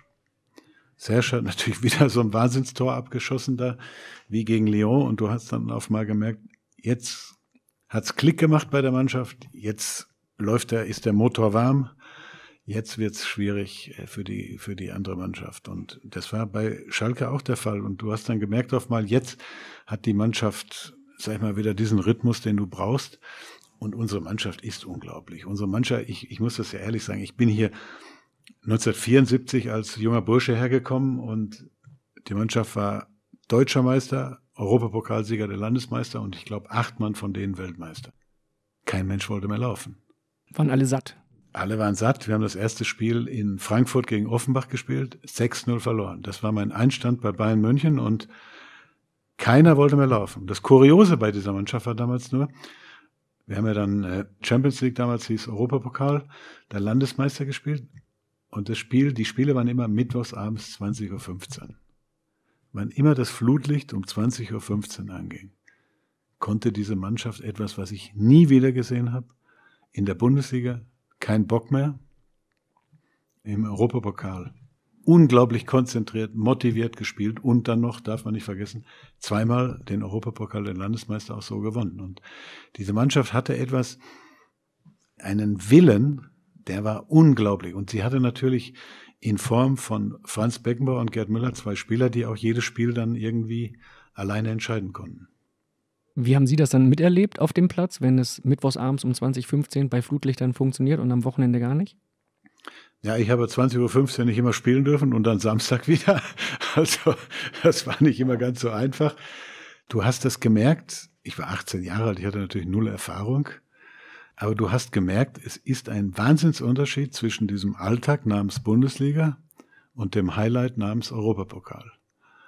Die waren wie elektrisiert, wenn die auf den Platz gingen und sind marschiert wie die Verrückten, um ganz einfach Erfolg zu haben. Und den hat die Mannschaft ja in der Gestalt gehabt, dass sie dreimal damals diesen Europapokal gewonnen hat und das war ein, ein unglaubliches Erlebnis. Und im ersten Jahr, als ich dabei sein durfte, habe ich mich oft gefragt, wie machen die das gedanklich im Kopf, dass praktisch Samstag kein Bock und dann am Mittwoch aber wieder volles Rohr, muss man direkt sagen, gespielt wurde und erfolgreich immer gespielt wurde. Und äh, das war schon auch, auch eine Qualität, die war fast kurios, würde ich sagen.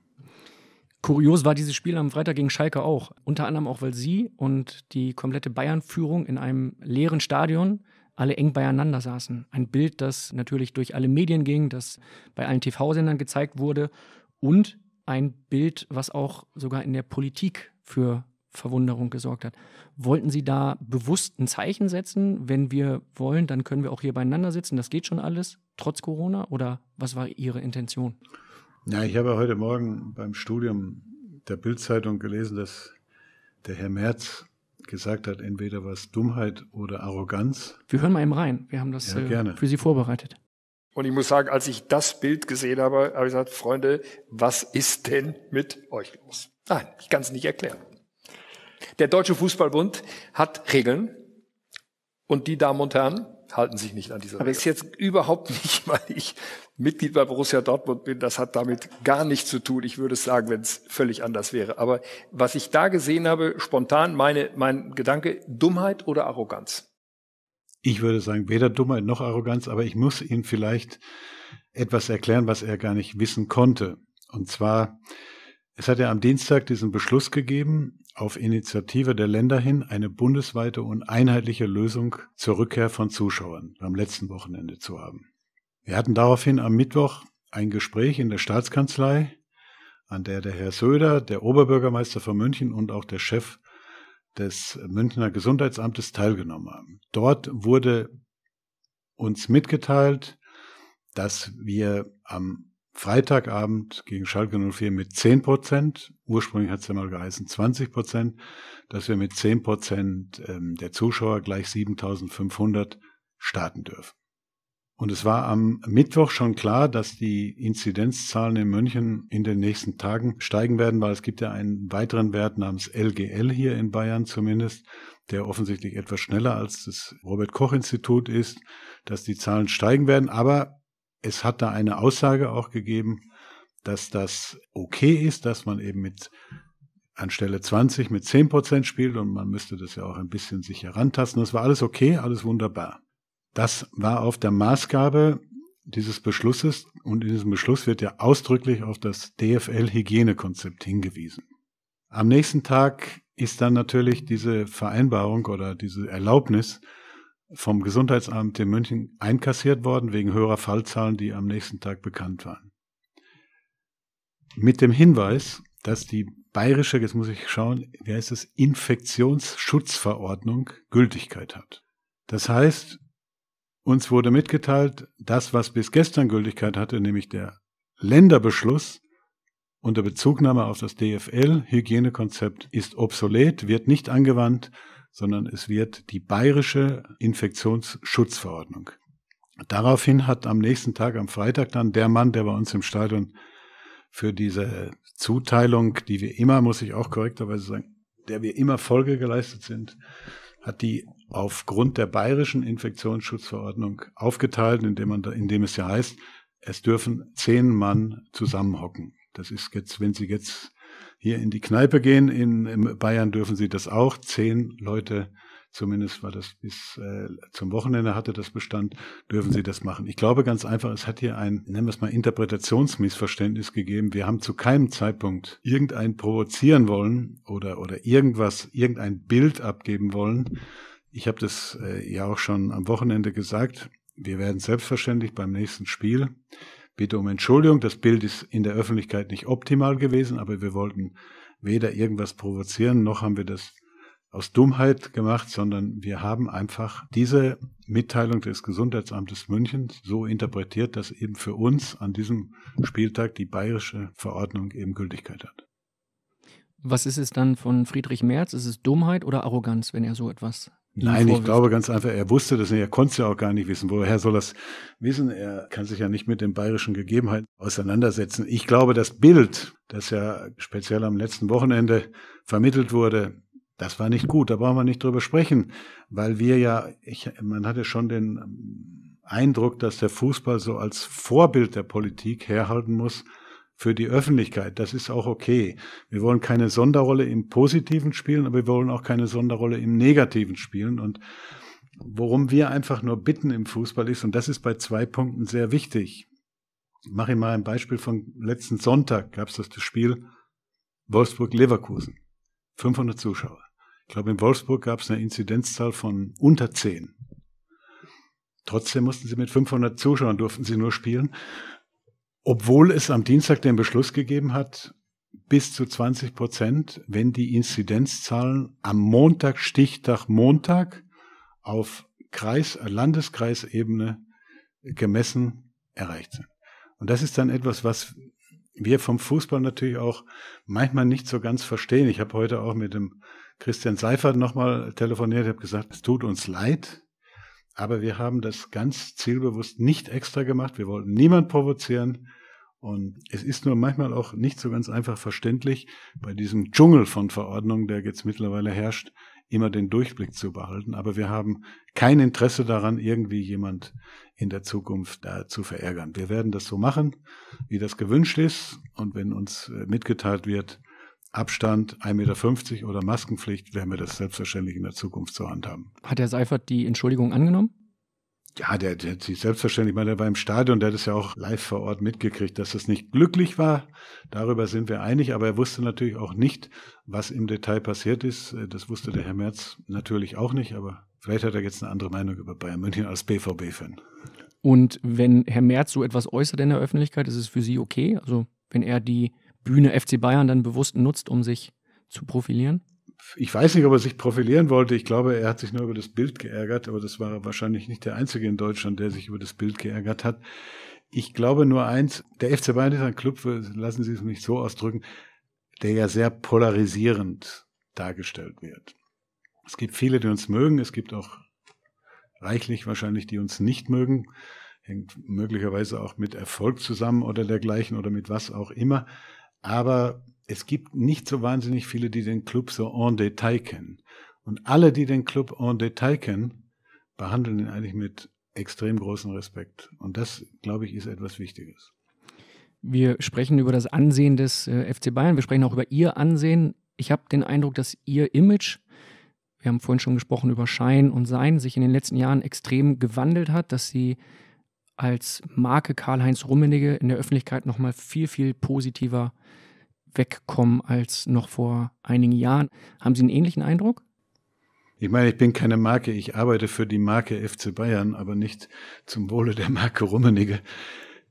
Ich glaube einfach, dass man im Alter etwas entspannter wird und ich bin sicherlich jetzt im Alter auch etwas entspannter geworden. Ich war früher auch recht emotional, manchmal vielleicht auch ein Stück aggressiv in gewissen Entscheidungen, aber trotzdem sage ich, egal ich habe es immer versucht, zum Wohle des FC Bayern zu machen und nicht für die Marke Rummenigge, die es für mich nicht gibt. Das ist, äh, ich sag mal, kein Faktor, der mich interessiert. Das Entscheidende ist, alle, die hier arbeiten, müssen zum Wohle von Bayern München arbeiten. Wissen Sie, welcher Satz mir unglaublich mal aufgestoßen ist? Bei zwei, drei Spielern, die das hier gesagt haben.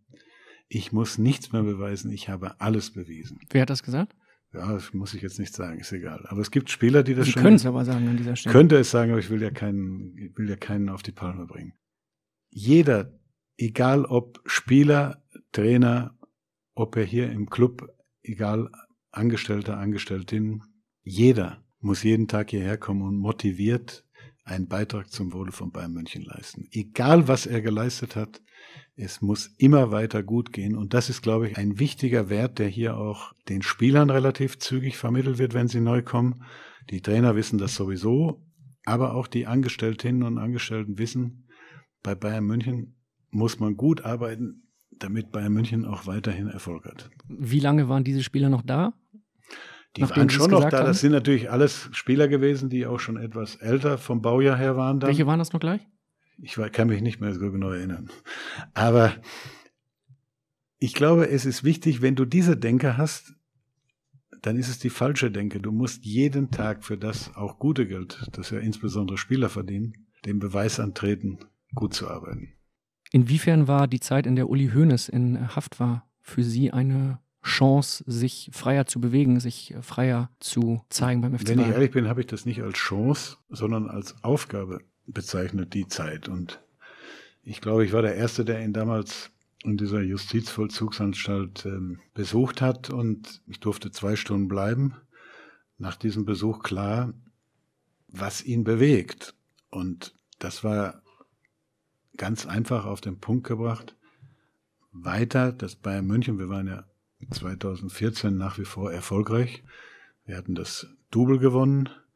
Wir hatten äh, das Halbfinale in der Champions League und ich glaube, dann kann man schon auch von einem erfolgreichen Jahr oder Saison sprechen. Aber du hast gemerkt, was das größte Problem für ihn war, er war ein Stück abgeschnitten. Er konnte zwar Fernseh schauen, aber das Fernsehen weiß ja nicht alles, was bei Bayern München intern hier los ist. Und er hat zwei Stunden mit mir nur über Internes gesprochen und dann habe ich schon gemerkt, dass das für ihn unglaublich schwierig ist, ein Stückchen vom Informationsfluss abgeschnitten zu sein. Und ich habe das dann eigentlich so empfunden. Ich bin nach Hause gefahren, unglaublich nachdenklich.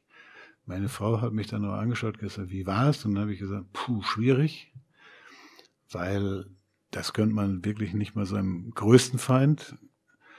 Das war schon ein Erlebnis, das bei mir ja nachhaltig für Gedankengänge gesorgt hat. Was für Gedankengänge?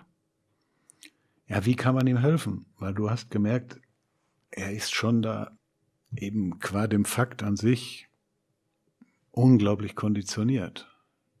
Und wie es einem geht, wenn man im Gefängnis ist, glaube das, ich, ich hoffe nie, dass mir das widerfährt, aber durch was auch immer. Aber ich kann nur eins sagen, wenn man schon da reingeht in diesen Besucherraum und alles, und dann saß ja am Nebentisch noch ein Vollzugsbeamter, der da geschaut hat, was man da vollzieht oder was man da macht und alles. Und das war schon, puh, kann nur eins sagen, es war ein Erlebnis schwierig. Jetzt muss ich einmal nachfragen. Sie hatten ja mal eine Geschichte 2013, wo Sie Uhren aus Katar mit nach Deutschland genommen haben und seitdem, weil die nicht versteuert waren, offiziell vorbestraft sind. Schießt Ihnen sowas dann durch den Kopf?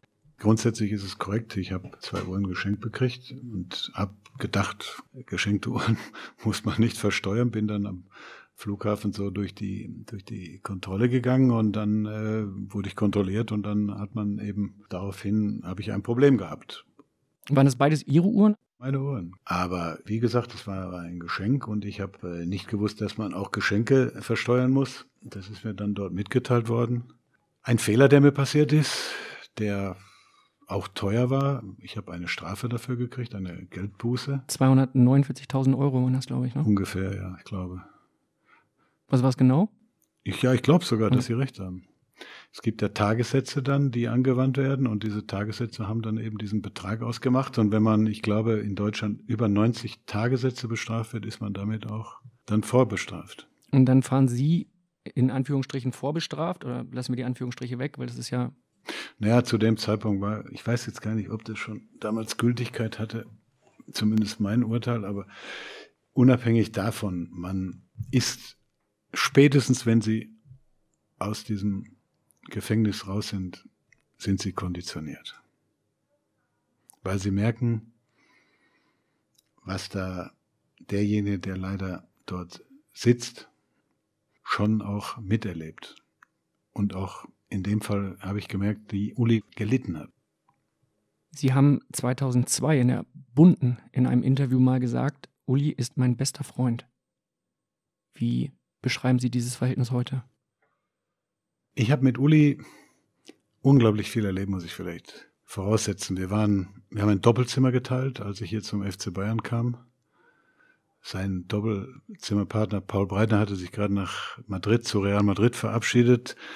Das Bett wurde neben ihm halt frei und wurde mir zugeteilt und ich habe ich habe das eigentlich genossen, muss ich ehrlich sagen. Ich kam aus diesem kleinen Städtchen Lippstadt und lag dann auf mal neben Uli Hoeneß im Bett und habe dann erstmal gemerkt, äh, in welcher Intensität er lebt und der war immer schon auch ein, ja, ich sage mal, neben Fußballer hat er sich immer fürs Geschäft interessiert und das war eine lehr unglaublich lehrreiche Zeit, die wir erlebt haben und danach wurde er dann ja mein Manager hier bei Bayern München. Wir haben dann meinen Transfer damals von Bayern München zu Inter Mailand, muss man fast sagen, gemeinsam bewerkstelligt. Darüber sprechen wir im, im zweiten Teil des Phrasen. Wir hatten unglaublich, wir hatten unglaublich eine enge Beziehung, muss ich sagen. Und da wir beide relativ meinungsstarke Menschen sind, hat es dann auch schon mal heftige Diskussionen gegeben. Wer kann die Tür besser knallen, Sie oder er? Ich glaube, am besten kann sie Oliver Kahn knallen. Wirklich? Oliver Kahn kann sie am besten knallen. Der hatte mal mit Uli einen Disput Wann war das in etwa? 2003, 2004, schätze ich. Da war ja schon der Titan, ne? Da war schon der Titan. Und dann war er bei Uli im Büro und ich kann mich noch erinnern, und er war irgendwie so erbost über irgendwas, was Uli ihm gesagt, gemacht hatte, das weiß ich nicht, hat dann die Tür so zugeknallt, dass sie aus den Angeln gegangen ist. Und die ganzen Sekretärinnen bei uns sind zusammengelaufen und waren völlig schockiert, was da passiert ist. Und Uli kam dann schmunzelnd aus seinem, seinem Büro raus und hat dann, habe ich gesagt, was ist los? Hat er gesagt, ja, er spinnt. und zehn Minuten später hat Olli Uli angerufen und hat sich entschuldigt. Dann war es wieder okay. Ist eigentlich die beste Daily Soap, die man sich vorstellen kann an der Sebener Straße, oder? Wenn wir ja, da die, oben Kameras hätten von Bild. Wäre eine, wär eine interessante Soap für die Menschen da draußen, kann ich mir vorstellen. Manchmal erleben wir als Fußballfans dann ja auch Teile dieser Soap in echt live. Beispielsweise, wenn Uli Hoeneß im Doppelpass sitzt und plötzlich über den Alaba-Berater sagt, es ist ein geldgeiler Piranha. Wie haben Sie das erlebt? Ich habe es gar nicht gesehen. Ich habe es mir danach allerdings zumindest seine Passagen angeschaut. Ich habe Sport getrieben um die Uhrzeit und hatte dann aber allerdings mein Handy dabei und habe dann nur gemerkt, dass bei mir in der Hose immer tick, tick, tick, tick, tick. Es waren dann die DPA-Nachrichten, die kamen im 5-Minuten-Takt dann rein. Haben Sie die als Push äh, wegen seiner, ja, ja, ja, und wegen seiner Aussage und dann wegen seinen Aussagen, muss man ja direkt sagen. Hat gut zugelangt, ne? Und ja, natürlich, er hat sehr ordentlich für Wirbel da im Blätterwald gesorgt an dem und am nächsten Tag. Das entscheidende Kriterium ist, wir haben trotzdem alle ein großes Interesse, dass der Bursche hier bleibt. Der Bursche ist jetzt nicht Uli Höhne, sondern David Alaba. Der ne? Bursche ne? ist David Alaba. Und ich muss, würde grundsätzlich sagen, das Beratergeschäft, ich habe das ja schon mal gesagt, da gibt es wenig Goldfische und Keukarpfen. Ich verstehe ihn, es war immer, es war immer das Gute und auch manchmal vielleicht nicht das so ganz gute Emotionale eben an ihm, dass wenn ein Journalist es gelingt, bei ihm den richtigen Knopf zu drücken, dann lässt er halt schon mal eben solche Dinge los schlagen Sie als erstes die Hände über den Kopf zusammen oder suchen Sie direkt die Aussprache, das direkt Nee, haben wir nicht. Ich, ich, wusste, ich sehe in die nächsten Tage dann irgendwann mal, dann kann man mal darüber sprechen, über das ganze Thema. Ich bin anders als Uli. Aber ich glaube, das war auch das Gute, wir haben uns immer ganz gut ergänzt. Er ist der unglaublich emotionale Mensch, der auch sofort platzt, wenn irgendwas nicht, ihm nicht gefällt, während ich ganz manchmal fast von der Ratio zu viel ganz ruhig bin und versuche erstmal auch manchmal eine Nacht darüber zu schlafen, weil ich einfach der Meinung bin, wenn man Vertragsgespräche führt, ist es besser ruhig, vertraulich, diskret. Und die andere Seite sagt, und die komm, andere Seite sagt emotional, aber es ist per se, geht's immer in unserem Geschäft emotional zu, aber das war immer das Gute an uns zweien. Wir haben uns, egal wie wir uns immer gefetzt haben, wir haben uns immer auch wieder zusammengerauft. Was macht ihn denn so unkontrollierbar? Das ist einfach Uli Hoeneß. Uli Hoeneß ist, glaube ich, ganz authentisch. Ich finde, wenn ich in den Medien arbeiten würde, müsste er so etwa wahrscheinlich in einer ganz großen Regelmäßigkeit den Sportmedienpreis überreicht bekommen, weil der liefert den Medien etwas, was ja nicht, nicht wünschenswerter ist, speziell in, in dieser Zeit, in der die Medien ja immer schnelllebiger und, und äh, auch etwas verrückter werden. Uli Hoeneß hätte definitiv einen Preis verdient. Er hat mit dieser Aussage vielleicht auch den Preis für David Alaba ein bisschen hochgetrieben. Ist sowas dann aus Ihrer Sicht schon geschäftsschädigend für den FC Bayern? Ich glaube nicht, dass er den Preis damit hochgetrieben hat. Ich glaube, man hat den Fokus dann eben auf die Vertragsgespräche gelegt und das kann ich im, sagen wir mal, kann ich im Interesse sein der Vertragspartner, weil das erzeugt einen gewissen Druck, aber ich will da jetzt auch gar nicht zu viel erzählen, weil wir sind uns alle einig, was wir wollen und daran arbeiten wir jetzt in hoffentlicher Ruhe gemeinsam dran. Was sind denn so die schönsten Erinnerungen, die Sie haben an die gemeinsame Zeit mit Uli Hoeneß? Ich habe eigentlich eine wunderbare Anekdote habe ich mit ihm erlebt 1999. Champions League verloren erst gegen äh, Manchester United in Barcelona. Ich bin nach dem Spiel, wir waren ja alle schockstarre, in die Kabine und da sah es aus wie nach der Schlacht. Ja, der Sammy Kofo lag unter der Dusche. Die Dusche war auf, er lag, aber die Dusche auf ihn drauf, hat geweint wie ein kleines Kind. Oliver Kahn lag irgendwo in der Ecke. Effenberg, Mehmet, alle waren fix und fertig.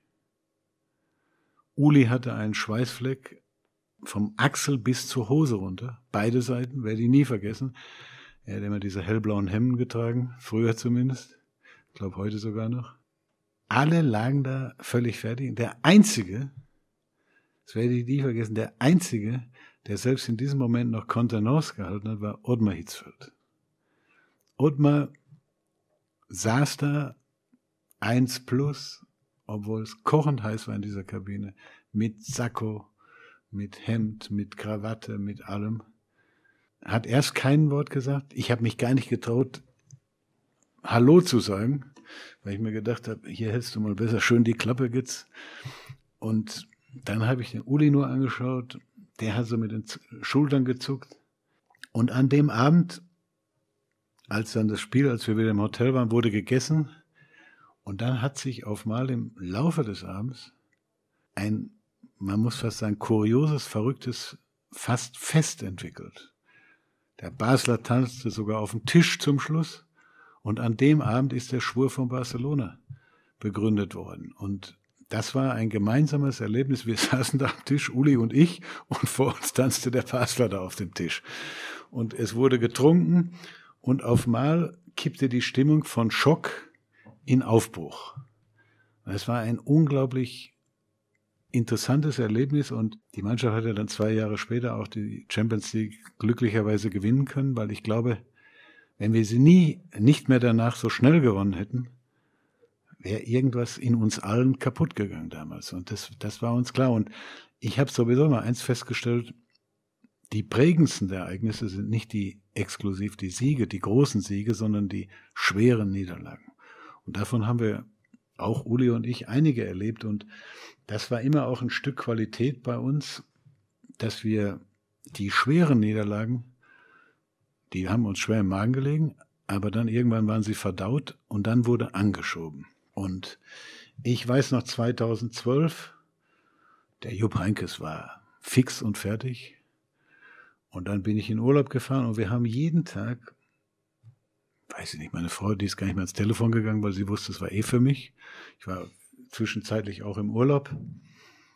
Uli, Jupp, Uli, Jupp, Uli, Jupp. Manchmal zehn Gespräche am Tag, dass wir gesagt haben, nächstes Jahr, wir gewinnen. Alles, was wir dieses Jahr verloren haben, versuchen wir nächstes Jahr zu begradigen. Und da ist angeschoben worden, das war Wahnsinn, muss ich ehrlich sagen. Aber das war eine unglaublich spannende Zeit und wir haben es gepackt.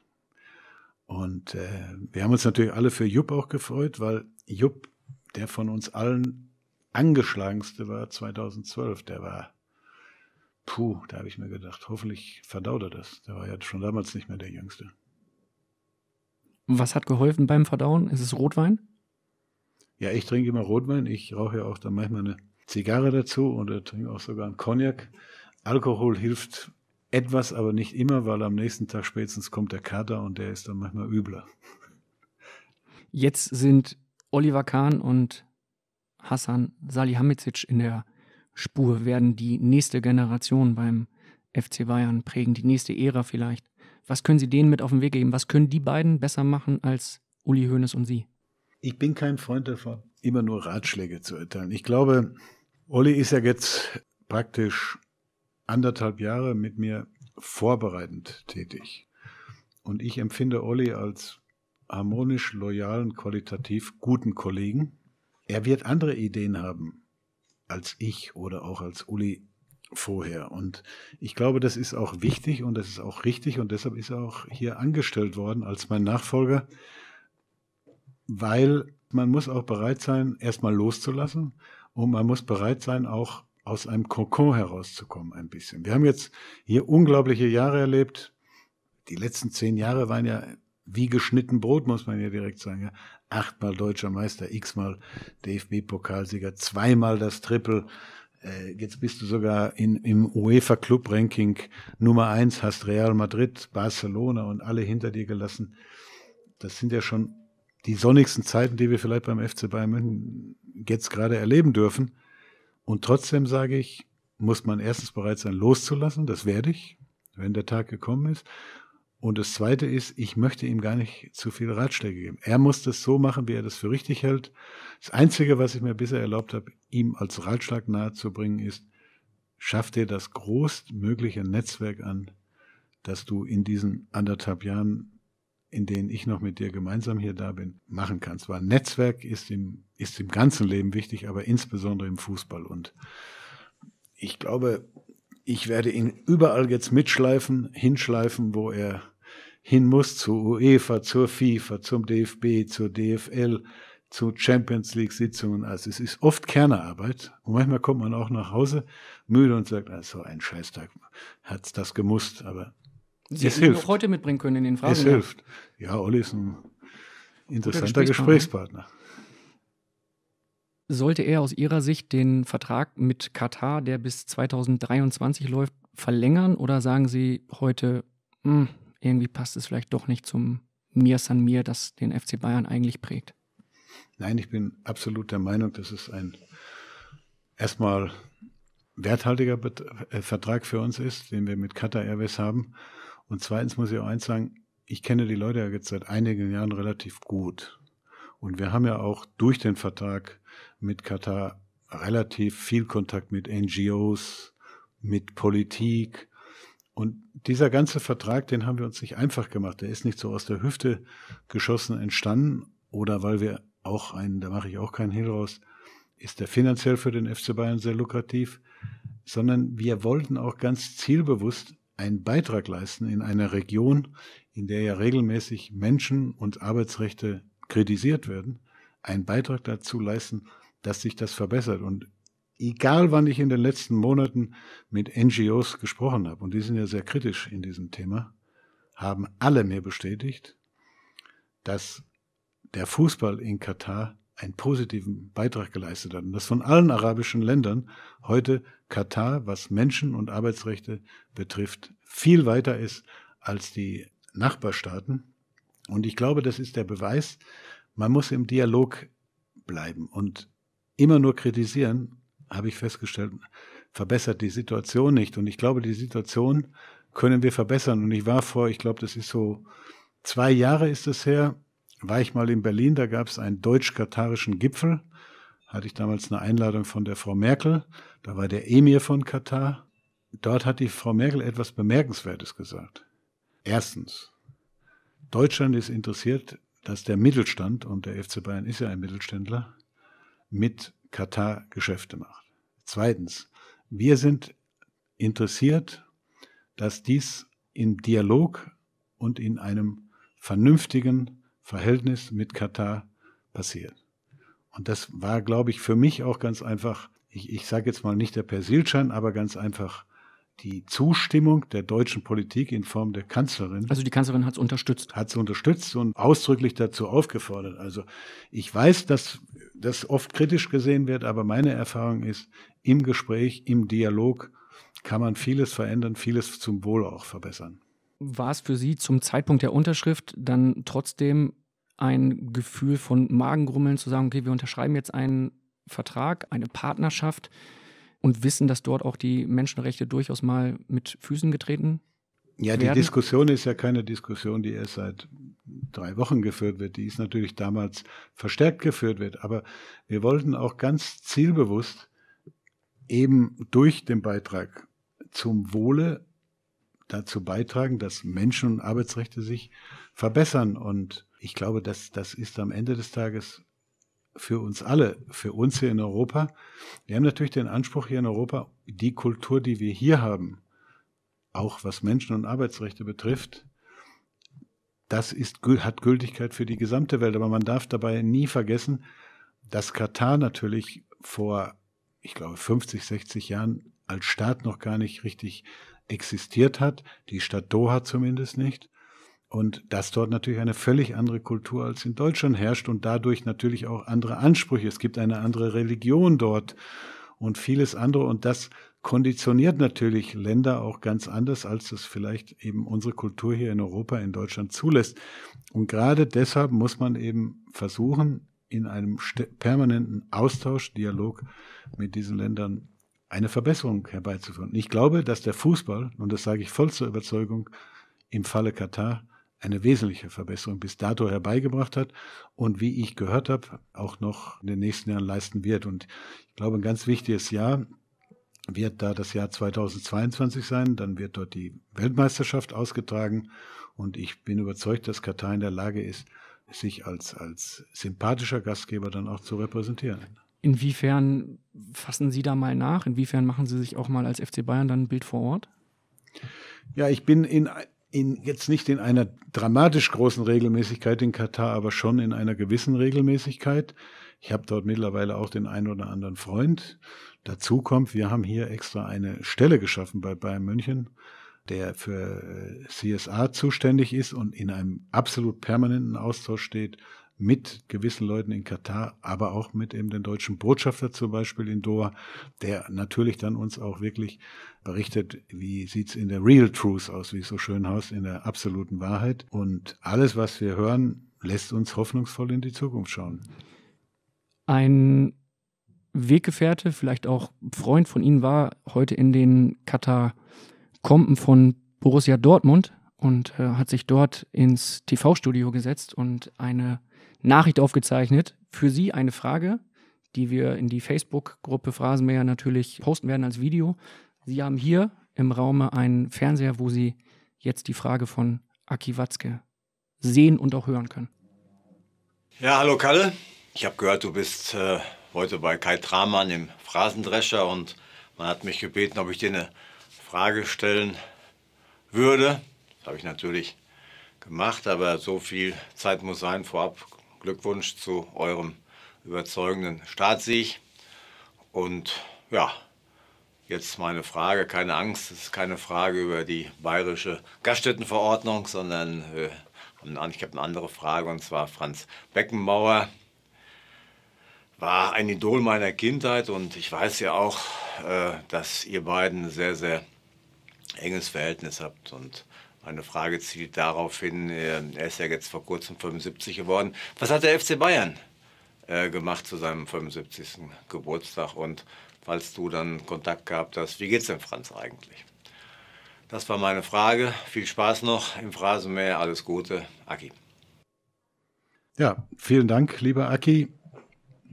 Wir haben finde ich, sehr entspanntes, würde fast sagen, gutes Verhältnis zueinander entwickelt. War ja früher auch schon mal anders und mir gefällt das, weil ich glaube, wir haben oft eine gemeinsame Interessenslage in Fußballangelegenheiten und äh, seitdem dieses entspannte Verhältnis so ist, ist es auch entspannt zwischen den beiden Clubs geworden.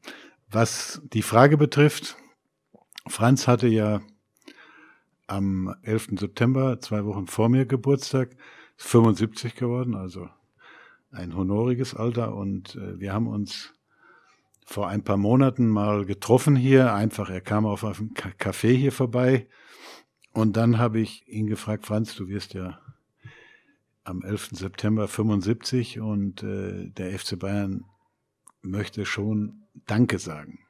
Ob er bereit ist, einverstanden ist, dass wir da im Rahmen unserer Möglichkeiten hier in Corona-Zeiten was auf die Beine stellen. Und man hat gemerkt, es gefällt ihm sehr. Und dann habe ich gesagt, lass mich mal mit unseren Leuten sprechen. Und wir haben dann am Tag danach, also am 12. September, eine, eine, ein kleines Fest gemacht im Rahmen der Möglichkeit. 40 Leute durften leider nur dabei sein, aber ich glaube, es war etwas extrem Emotionales und es war schön. Und das Wichtigste war, es hat ihm sehr, sehr gefallen. Wir haben eine Sonderausstellung in unserem, wir haben ein Museum in der Allianz Arena und wir haben eine Sonderausstellung, äh, Franz Beckenbauer dort an demselben Tag eröffnet. Aber ich glaube, das Wichtigste für ihn war, wie der FC Bayern zu ihm steht. Ich habe ja am Anfang dieses Podcasts schon gesagt, Nummer eins Wichtigkeit in der Rangliste Franz Beckenbauer. Und ich glaube, wenn ich, ich persönlich einem Menschen total zu Dank verpflichtet bin, dann ist es Franz. Ich meine, die Qualitäten auf dem Platz, auch außerhalb des Platzes, die sind ja alle bekannt. Aber was mir an ihm immer so imponiert hat, mit welcher, ich muss fast sagen, Lässigkeit und Eleganz, der durch das Leben getanzt ist, muss man fast sagen. Und das war schon speziell in diesen anspruchsvollen Zeiten, die wir auch hatten, 70er Jahre, 90er Jahre, war der ein wichtiger Anker, an dem man sich festhalten konnte und auf dem man auch vertrauen konnte. Und deshalb habe ich das als etwas Selbstverständliches empfunden, dass wir Franz dieses Fest ausgerichtet haben. Und das hat ihm unglaublich gefallen. Und er hat mir etwas danach gemacht, was ich auch noch nie von ihm hatte. Er hat mir ein Video als Danke auf mein Handy geschickt am nächsten Tag, einfach nur zu sagen, er möchte sich beim FC Bayern, bei allen, die da eben das Fest ihm gestern ausgerichtet haben, es war am Sonntag danach, bedanken, weil es hat ihm unglaublich gefallen und es waren einige Freunde da, die mit ihm durchs Leben gegangen sind, einige Ex-Kameraden oder auch Leute, mit denen er befreundet ist, ein Günter Netzer und so weiter. Und alle, muss ich sagen, hatten großen Spaß und haben diesen Tag mit ihm genossen und, und es war auch etwas, ich muss ehrlich sagen, wenn wir das nicht gemacht hätten, wären wir schöne Deppen gewesen, wie es auf Bayerisch heißt. Und Franz steht über allem hier. Ist er so die herausragendste Persönlichkeit, die Sie erlebt haben beim FC Bayern? Ja. Ich meine, ich bin hier hergekommen, da hatten wir Training oft mit 10.000 Zuschauern. 10.000 Zuschauer und Franz hatte immer den, kam immer als Letzter aus der Kabine auf den Platz. Und alle haben immer auf den Kaiser gewartet, muss man wirklich sagen. Und Franz kam dann raus und der, jeden Tag, wenn, der, wenn Training war und die Leute da draußen standen, haben die Beifall geklatscht und der Franz kam raus. Und was mir immer an ihm imponiert hat, war, wie er die Leute behandelt hat.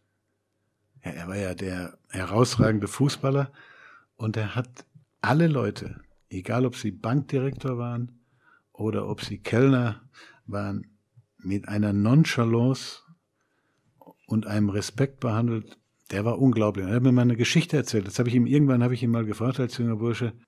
Du nimmst dir unglaublich viel Zeit für Autogramme schreiben, mit den Leuten zu sprechen. Das finde ich unglaublich. Das habe ich später gefragt. Gar nicht jung. Und dann hat er gesagt, soll ich dir mal eins sagen, was mir passiert ist? Er hat ja dann bei Cosmos gespielt. Er sagt, und dann haben wir irgendwo gegen Tampa Bay gespielt. Es war fürchterlich heiß, wir hatten noch verloren, Stimmung war auch schlecht. Und dann haben wir im Bus gesessen und haben auf den Pelé gewartet. Und der Pelé stand draußen, Autogramme mit den Leuten gescherzt, gesprochen und alles. Und dann kam der Pelé, sagt er, kam in den Bus rein und dann hat der Giorgio Chinaglia, italienischer Spieler, Nationalspieler, Mittelstürmer damals bei Cosmos, den Pelé und hat ihm ange, angemacht und hat ihm gesagt, Pelé, wir sitzen hier seit einer halben Stunde und du scherzt da draußen mit den Leuten rum. Das ist das letzte Mal, dass wir das akzeptiert haben. Dann sagt der Franz, wie gesagt, wie war die Reaktion von Pelé? Dann sagt er, hat er den Kinalia angeschaut, hat gesagt, Kinalia, dass du hier sitzt, dass du ein Apartment in der Fifth Avenue hast, dass du ein begüteter, glücklicher Mensch bist, verdankst du nur den Leuten da draußen, die vor dem Busch stehen und sich mit dir unglücklicher Person auch noch befassen. Und eins sage ich dir, in der Zukunft wartest du eine Stunde auf mich. Das war mir eine Geschichte, die werde ich nie vergessen. Die habe ich, glaube ich, Vater mir vor 20 oder 30 Jahren erzählt. Die werde ich nie vergessen, weil ich mir gedacht habe, und so tickt er, genau so tickt er wie der Pelé. Immer für die Menschen da, immer für die Fenster, immer ein offenes Ohr und immer Wahnsinnsrespekt. Ist das etwas, was Sie auch den aktuellen Spielern äh, vom FC Bayern weitergeben wollen? Dieser respektvolle Umgang? Ich glaube, der, der Umgang ist innerhalb der Mannschaft top in Corona-Zeiten kann man leider nicht immer alles so umsetzen wie früher. Die dürfen ja im Moment gar keine Autogramme geben, die dürfen keine Selfies machen. Das sind ja unter anderem Vorgaben, die durch das DFL-Hygienekonzept auch vorgegeben sind. Ich glaube nur grundsätzlich, man muss respektvoll im Leben mit den Menschen sein. Weil gerade wenn man das Glück hat, im Fußball zu arbeiten oder Fußball zu spielen, ist man ja per se schon ein beglückter Mensch, muss man sagen, und auch privilegierter Mensch. Und das muss man auch bereit sein, den Menschen ein Stück zurückzugeben. Gibt es für Sie jetzt im letzten Jahr, in den letzten 15 Monaten, wie Sie vorhin erwähnt haben, noch etwas, was Sie unbedingt erleben wollen beim FC Bayern oder sagen Sie jetzt schon, ich bin wunschlos glücklich? Ich lebe, muss ich sagen, seit meiner Zeit in Italien, die für mich sehr wichtig war, die drei Jahre, etwas anders als früher. Früher habe ich mir immer so Pläne gemacht, ich musste langfristige Verträge haben, ich musste ich musste einfach immer wissen, was ist morgen, was ist übermorgen, was ist nächstes Jahr. Dann bin ich die drei Jahre mit meiner Familie nach Italien gegangen und habe erstmal schätzen gelernt, was heißt es, im Hier und Heute zu arbeiten. Und ich muss ehrlich sagen, im Hier und Heute zu arbeiten ist glücklicher, befriedigender und eigentlich auch schöner. Und deshalb, ich lasse das alles auf mich zukommen. Ich werde daran kraftvoll mitarbeiten, dass es weiterhin Spaß macht, dass wir Freude haben, Erfolg haben und am Ende des Tages auch einen FC Bayern und seine Fans haben, die, die einfach auch damit zufrieden sind. Gibt es jemanden, den Sie vor Ihrem Vertragsende gern noch zum FC Bayern holen würden? Nein, die wichtigste Person in meinem Leben ist meine Frau und die hat immer zum Fußball, würde ich sagen, ein nicht unkritisches Verhältnis gehabt, aber sie war immer die wichtigste Person für mich. Das heißt, Sie hatten zu Hause dann auch mal Diskussionen über Nein, die hat mich das die, Business. Nein, wir, wir, sie mag eigentlich nicht, dass ich, wenn ich Probleme mit nach Hause bringe aus dem Fußballbereich. Und sie mag etwas anderes auch nicht, wenn ich, sie sagt immer, bitte nicht die alten Kamellen. Also sie mag nicht, wenn ich was weiß ich erzähle, wie 1978 wir wo, was, welches Erlebnis erlebt haben. Das ist etwas, was sie auch nicht unbedingt schätzt. Aber ich habe zu ihr ein gutes Verhältnis und sie war immer der wichtigste Mensch, auch weil sie dafür gesorgt hat, dass die Familie, die uns beiden wahnsinnig wichtig ist, einfach, ich habe immer gesagt, ich versuche den FC Bayern zu managen und du die Familie. Die Zeit, in der Sie ähm, gespielt haben, aktiv, die behandeln wir in Phrasenmäher Folge 2. Wir gehen gerade schon ordentlich in die Nachspielzeit von Phrasenmäher Folge 1. Ich hoffe, das ist noch okay für Sie. Und würde gerne mal Sie und das muss ich jetzt einfach so sagen, als Visionär feiern. Ich bin in das äh, Springer-Archiv gestiegen und habe ein Interview gefunden aus dem Jahre. Nein, ich sag's noch nicht. Wenn es für Sie okay ist, es ist ein Spiegel-Interview, können Sie sich daran erinnern? Gebe ich Ihnen mal die Passagen, die Sie gesagt haben damals. Sie können die vorlesen und ich übernehme den Part des äh, Spiegels. Rummenige Doppelpunkt. Ich stelle mir durchaus vor, dass man neue Stadien bauen kann. Reine Fußballstadien. Der Spiegel ein Stadion kostet 50 Millionen Mark oder mehr. Wer soll das bezahlen? Siemens vielleicht? Meine Antwort darauf war, warum nicht? Warum könnte man nicht ein Siemens-Zentrum oder ein Karstadt-Einkaufszentrum in ein Stadion mit einbauen? Was gibt es da für große Probleme? Die Firmen müssen natürlich etwas davon haben. Der Spiegel fragt, warum sollte Karstadt ein Kaufhaus dorthin bauen, wo einmal alle 14 Tage Leute hinkommen? Rummenigge, Sie müssen da weiterspinnen. Es kann ein Einkaufszentrum mit großen Geschäften, Läden, Boutiquen, Kinos sein. Sie können die Familie mit einbeziehen. Die Frau, die überhaupt kein Interesse am Fußball hat, geht in der Zeit einkaufen, guckt sich Geschäfte an, macht, tut, was sie will. Das Kind, das auch kein Interesse hat, geht ins Kino. Der Spiegel fragt dann, und der Mann geht zum Fußball? Und der Vater geht zum Fußball und trifft sich um 17.30 Uhr mit der Mutter wieder am Punkt X und fährt nach Hause und alle drei sind glücklich und zufrieden und haben einen wunderbaren Samstag ohne Streit erlebt. 4. September 1989. Das ist ja unglaublich visionär gewesen. Ich beziehe da Uli mit ein auch. Was uns immer geprägt hat, war keinen Stillstand zu haben. Wir wollten nie Stillstand haben und man muss manchmal auch verrückt ticken. Ich weiß noch, der Uli hat irgendwann mal gesagt, er kann sich vorstellen, dass 50 Millionen für die TV-Rechte bezahlt werden. Damals wurden, glaube ich, 10 bezahlt. Da haben sie ihn gleich alle in den Medien als Idioten tituliert, der größenwahnsinnig geworden ist. Heute wird über eine Milliarde pro Jahr bezahlt. Und ich glaube, man muss Ansprüche an sich selber stellen, aber ganz einfach auch an die Position, die man begleitet. Und man muss manchmal auch spinnen. Ich musste gerade, während ich das gelesen habe, musste ich an Real Madrid denken. Die bauen gerade ein solches Stadion, genau ein solches Stadion. Bei uns in der Allianz Arena ist ein Fußballstadion. Natürlich können Sie da heute essen. Natürlich können Sie da auch noch andere Dinge machen, aber eigentlich ist der zentrale Mittelpunkt der Fußball. Real Madrid baut jetzt ein Stadion mit Geschäften, mit Kino, mit Restaurants, die auch öffentlich sind, in der nicht nur praktisch Stadionbesucher hingehen können, um offensichtlich das, was ich da 1989 mal gesponnen habe, zu verwirklichen. Und ich glaube, auch der Fußball muss den Anspruch der Entwicklung haben, gerade in diesen Zeiten, die doch sehr schnell, sehr digital auch sind, müssen wir verrückte Dinge machen. Manchmal habe ich den Eindruck, in Deutschland sind wir ein bisschen auf dem Weg, bequem zu werden. Wenn ich mir alleine die digitale Entwicklung anschaue, wo findet die statt? In USA in erster Linie und in China.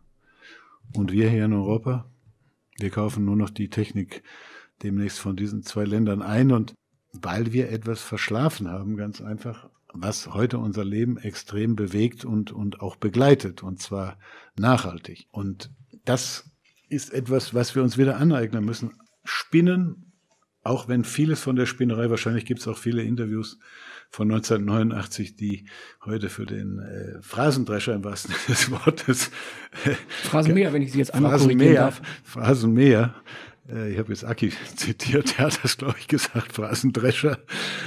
Könnte man in den, in den Schredder reintun, aber man muss manchmal auch verrückt ticken, um dann eben auch verrückte Dinge zu erleben. Jetzt weiß ich auch, wer der Spanier gewesen ist, der zeitgleich mit mir diesen Artikel von 89 im Springer-Archiv äh, gelesen hat. Das war, glaube ich, jemand von Real Madrid dann wahrscheinlich, der sich gedacht hat, komm. Möglich. Ich habe noch ein Interview von Ihnen. Sie haben das jetzt gerade so toll gemacht. Ich kann das jetzt vorlesen, diese Aussage, oder Sie übernehmen nochmal den Part.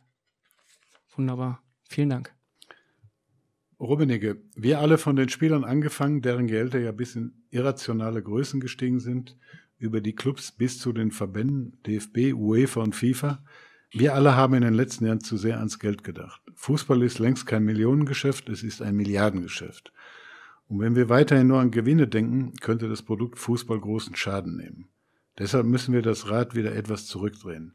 Die kommenden Jahre sollten wir nutzen, um zuerst und vor allem wieder auf die Wünsche der Zuschauer einzugehen. Denn wenn der Fan den Daumen senkt, dann gute Nacht. Von wann stammt diese Aussage? Was glauben Sie? Aus der Hör zu war das ein Interview? Keine Ahnung, schon. Ist es länger her? 2001. 2001. Könnte auch von gestern sein, ne? Könnte von gestern sein, aber zeigt, dass wir, ich sag mal, gewisse Irrationalitäten oder Entwicklungen schon damals hatten, die, die ich kritisch gesehen habe. Ich weiß aber noch genau, weshalb ich es gesagt habe. Wir hatten ja 1996 den Fall Bosmann. Und Bosmann war der Startschuss für irrationales Verhalten im Fußball und auch da dementsprechende Entwicklung. Er wollte das natürlich überhaupt nicht, was er da losgetreten hat, aber es hat sich daraus einfach entwickelt, interpretiert in falscher Hinsicht. Und ich glaube, jetzt erleben wir gerade wieder durch die Corona-Krise hervorgerufen etwas Ähnliches. Und es ist jetzt die große Frage, 2001 haben wir diese Irrationalitäten die den Fußball eigentlich begleitet haben bis zum letzten März. Ich sage immer 8. März war das letzte Spiel, das ich in der Allianz Arena mit Zuschauern erlebt habe. 75.000 gegen den FC Augsburg. Seitdem kein Spiel mehr mit Zuschauern. Wir müssen versuchen, was uns 2001 nicht gelungen ist, vielleicht 2020 ein Stück zu korrigieren. Nur, wir machen gerade wieder in Deutschland den Fehler, dass wir glauben, die deutsche Fußballkultur ist in der Lage, diese Problematik, diese, sagen wir, Ratio, die ein Stück dem Fußball abhanden gekommen ist, exklusiv wieder einführen zu können. Und wenn ich dann viele Kollegen Land auf, Land ab, manchmal in den Zeitungen lesen, dann denke ich mir, Leute, habt ihr es noch nicht kapiert? Fußball ist ein globales Geschäft. Was meinen Sie konkret oder wen meinen Sie konkret? Ich will da, ich mag es nicht, Leute irgendwie an die Wand zu nageln. Ich meine, die Herren da in Düsseldorf oder Mainz wissen Bescheid. Ich glaube nur, wir finden nur eine europäische Lösung. Und diese europäische Lösung kann nur von der UEFA im Verbund mit dem gesamten europäischen Fußball, also mit den Clubs, mit den Spielern, mit den Beratern, mit den Verbänden gefunden werden. Das ist eine unglaublich große, wahnsinnig schwierige Aufgabe. Und wenn sie einer lösen kann, da muss ich klar und deutlich sagen, ist es nur die UEFA mit ihrem Präsidenten, den ich für sehr fähig halte, Alexander Seferin. Und das müssen wir versuchen. Ich wünsche mir, dass wir ein Stück wieder das Rad zurückdrehen, das in den letzten Jahren nochmal an Geschwindigkeit aufgenommen hat, den Höhepunkt hatte mit dem Transfer von Neymar, 222 Millionen, mit auch dementsprechenden Gehältern, die ja jetzt immer mehr auch in die Öffentlichkeit reinkommen und alles. Ich lasse mich gerne überraschen, aber es wird wahnsinnig schwierig, das sage ich heute voraus, weil wir eine unglaublich breite Interessenslage haben und ob es gelingen wird, diese breite Interessenslage zu bündeln zu einer gemeinsamen, das wird die Zukunft zeigen müssen. Wenn Sie für die Zukunft des Fußballs eine Sache festlegen, eine Sache ändern könnten, wie würde diese Änderung dann genau lauten? Ich glaube grundsätzlich, wir haben innerhalb der UEFA ein gutes Tool namens Financial Fair Play. Ich glaube nur, dieses Tool muss komplett überarbeitet werden, muss stringent, diszipliniert auch eingehalten werden, von den Clubs insbesondere. Und wir müssen eins noch sorgen, wir haben zu viele Spiele in einem Kalender, der immer verrückter wird. Wir müssen einfach ein Stück, ich sag mal, zurück zur Qualität finden. Es war jetzt doch interessant in Lissabon, Viertelfinale, Halbfinale, Finale, drei Spiele. Normalerweise hättest du ja fünf gehabt. Und wenn ich ehrlich bin, haben es doch alle genossen. Ich habe keinen gehört, der gesagt hat, da fehlen uns ja zwei Spiele und das ist nicht gut gewesen. Ich habe nur Leute gehört, die gesagt haben, das war die interessanteste Champions League, die es je gegeben hat. Bis auf das Fehlen der Fans natürlich. Bis auf das Fehlen der Fans, richtig. Also würden Sie sagen, im K.O.-Modus ein Spiel rein? Nein, ich habe mich mit dem, ich habe mich mit dem Alexander Seferin in Lissabon unterhalten und habe gesagt, wie sind eure Erfahrungen? Und dann hat er gesagt, durchweg positiv. Und wir müssen jetzt einen Weg finden hin zur Qualität. Das ist immer schwierig und das sind auch große Worte. Wenn du sagst hin zur Qualität, was bedeutet das? Im Fußball war man ein Stück der meiner Meinung nach falschen Meinung. Quantität ist alles und Quantität sorgt für mehr Einnahmen. Quantität bedeutet nichts anderes als mehr Spiele, mehr Einnahmen. Ich sage falsch. Ich sage Qualität bringt die Einnahmen. Nicht indem wir mehr Spiele in der Gruppenphase machen, nicht indem wir noch mehr Spiele machen, noch mehr Wettbewerbe, auch Nationalmannschaftswettbewerbe vergrößern etc., sondern indem wir die Qualität verbessern. Das, was wir doch in Lissabon aus der Not heraus gezwungen waren zu machen, war doch am Ende des Tages ein Plus, indem wir bewiesen haben, die Leute waren begeistert. Klar, wir waren oberbegeistert, weil wir gewonnen haben, auch noch zusätzlich. Aber ich fand das Format und auch wie die Organisation, wie die UEFA das gemacht hat, top. Das Einzige, was gefehlt hat, waren die Zuschauer. Die habe ich vermisst, als ich da unten auf dem, auf dem grünen Rasen gestanden habe, habe ich mir gedacht, pa, wenn jetzt hier 60.000 Zuschauer noch dabei wären, das wäre das für eine Party, die wir hier hätten heute feiern können. Also sind Sie für eine Reform der Champions League, für eine Reduzierung der Spiele? Ich bin für eine Champions League mit mehr Qualität. Es wird ja permanent auch. Aber wie kann das erreicht werden? Durch weniger Spiele? Ja, indem man, indem man zum Beispiel in der K.O.-Phase überlegt, ob man nicht das Ende der K.O.-Phase ein bisschen analog Lissabon gestalten könnte. wenn es vielleicht nicht geht mit den Viertelfinalspielen, dann vielleicht mit den Halbfinalspielen. Das war früher schon mal in der Diskussion. Haben Sie das Herrn Severin vorgeschlagen, so in der Form? Ja, ich habe, nein, ich meine, man muss eins klar und deutlich sagen, Alexander Severin, er ist ein guter Präsident mit unglaublich viel Sensibilität für den Fußball und er ist absolut der richtige Mann, hier auch die, die richtigen Weichen für die Zukunft zu stellen. Und glaube, das Wichtigste war jetzt erstmal, dass wir ich betone das nochmal, aus der Not heraus etwas erlebt haben, was gut war. K.O.-Spiele. Haben wir bei der Weltmeisterschaft erlebt. also einfache K.O.-Spiele. Einfache K.O.-Spiele. Und man muss überlegen, ob man nicht speziell, wie gesagt, zum Schluss der sogenannten Knockout-Phase, wie es, äh, heißt, ein paar K.O.-Spiele hat. Wir haben schon mal diskutiert, ob es nicht einen, nennen wir es mal, Week of Football geben kann in der Zukunft. Zwei Halbfinalspiele in einer Stadt das Finale in derselben Stadt. Einfach um ein fußballerisches Highlight zum Ende einer Saison in Europa darzustellen. Und das heißt, diese Week of Football würden Sie befürworten? Alles, was pro Qualität ist, befürworte ich. Ich bin kein Freund von Quantität. Wir haben Spieler hier mit hoher Qualität, da kann man auch, dann muss man nicht einen Kader von 30 Spielern oder was weiß ich haben, sondern dann kann man, diese Spieler sind auch in der Lage, mehr zu spielen in der Qualität als, als vielleicht andere. Und diese Week of Football müsste dann nicht unbedingt in Aserbaidschan oder dergleichen stattfinden. Die findet idealerweise im Herzen Europas statt. Das ist für mich persönlich Bremen. Ja, andere sagen London oder München oder okay. Paris oder Madrid. Kann ich, kann ich kann, aber es sind auch, ich, ich sag mal, äh, man darf nur eins nicht vergessen, Fußball hat natürlich manchmal auch mit Politik zu tun. Da wären wir fast wieder bei Katar, muss, aber da waren wir muss, schon. Man muss manchmal auch einen Beitrag dazu leisten, dass in Regionen, in der der Fußball keine so große Rolle spielt, vielleicht in der Zukunft eine größere Rolle spielt. Und ich habe immer gewusst, was ich nicht kann. Ich könnte zum Beispiel nicht in der einen Verband wie FIFA oder UEFA führen, weil das wahnsinnig viel mit Politik zu tun hat und ich bin kein so ein großer Freund von politischen Entscheidungen, sage ich mal. Können Sie hier und jetzt einmal alle Super League-Diskussionen, die es je gab, ein für alle Mal beenden? Es gab Bestrebungen dazu, da mache ich keinen Hehl raus. Es gab immer wieder speziell aus dem Süden Europas Bestrebungen, so eine Super League zu machen. Ich muss aber vielleicht erklären, warum die gerade aus Südeuropa kamen. Wir haben natürlich alle eine Benchmark in Europa, die namens Premier League. Premier League hat dreimal so hohe Einnahmen wie wir hier in der Bundesliga, wie die spanische Liga, wie die italienische Liga.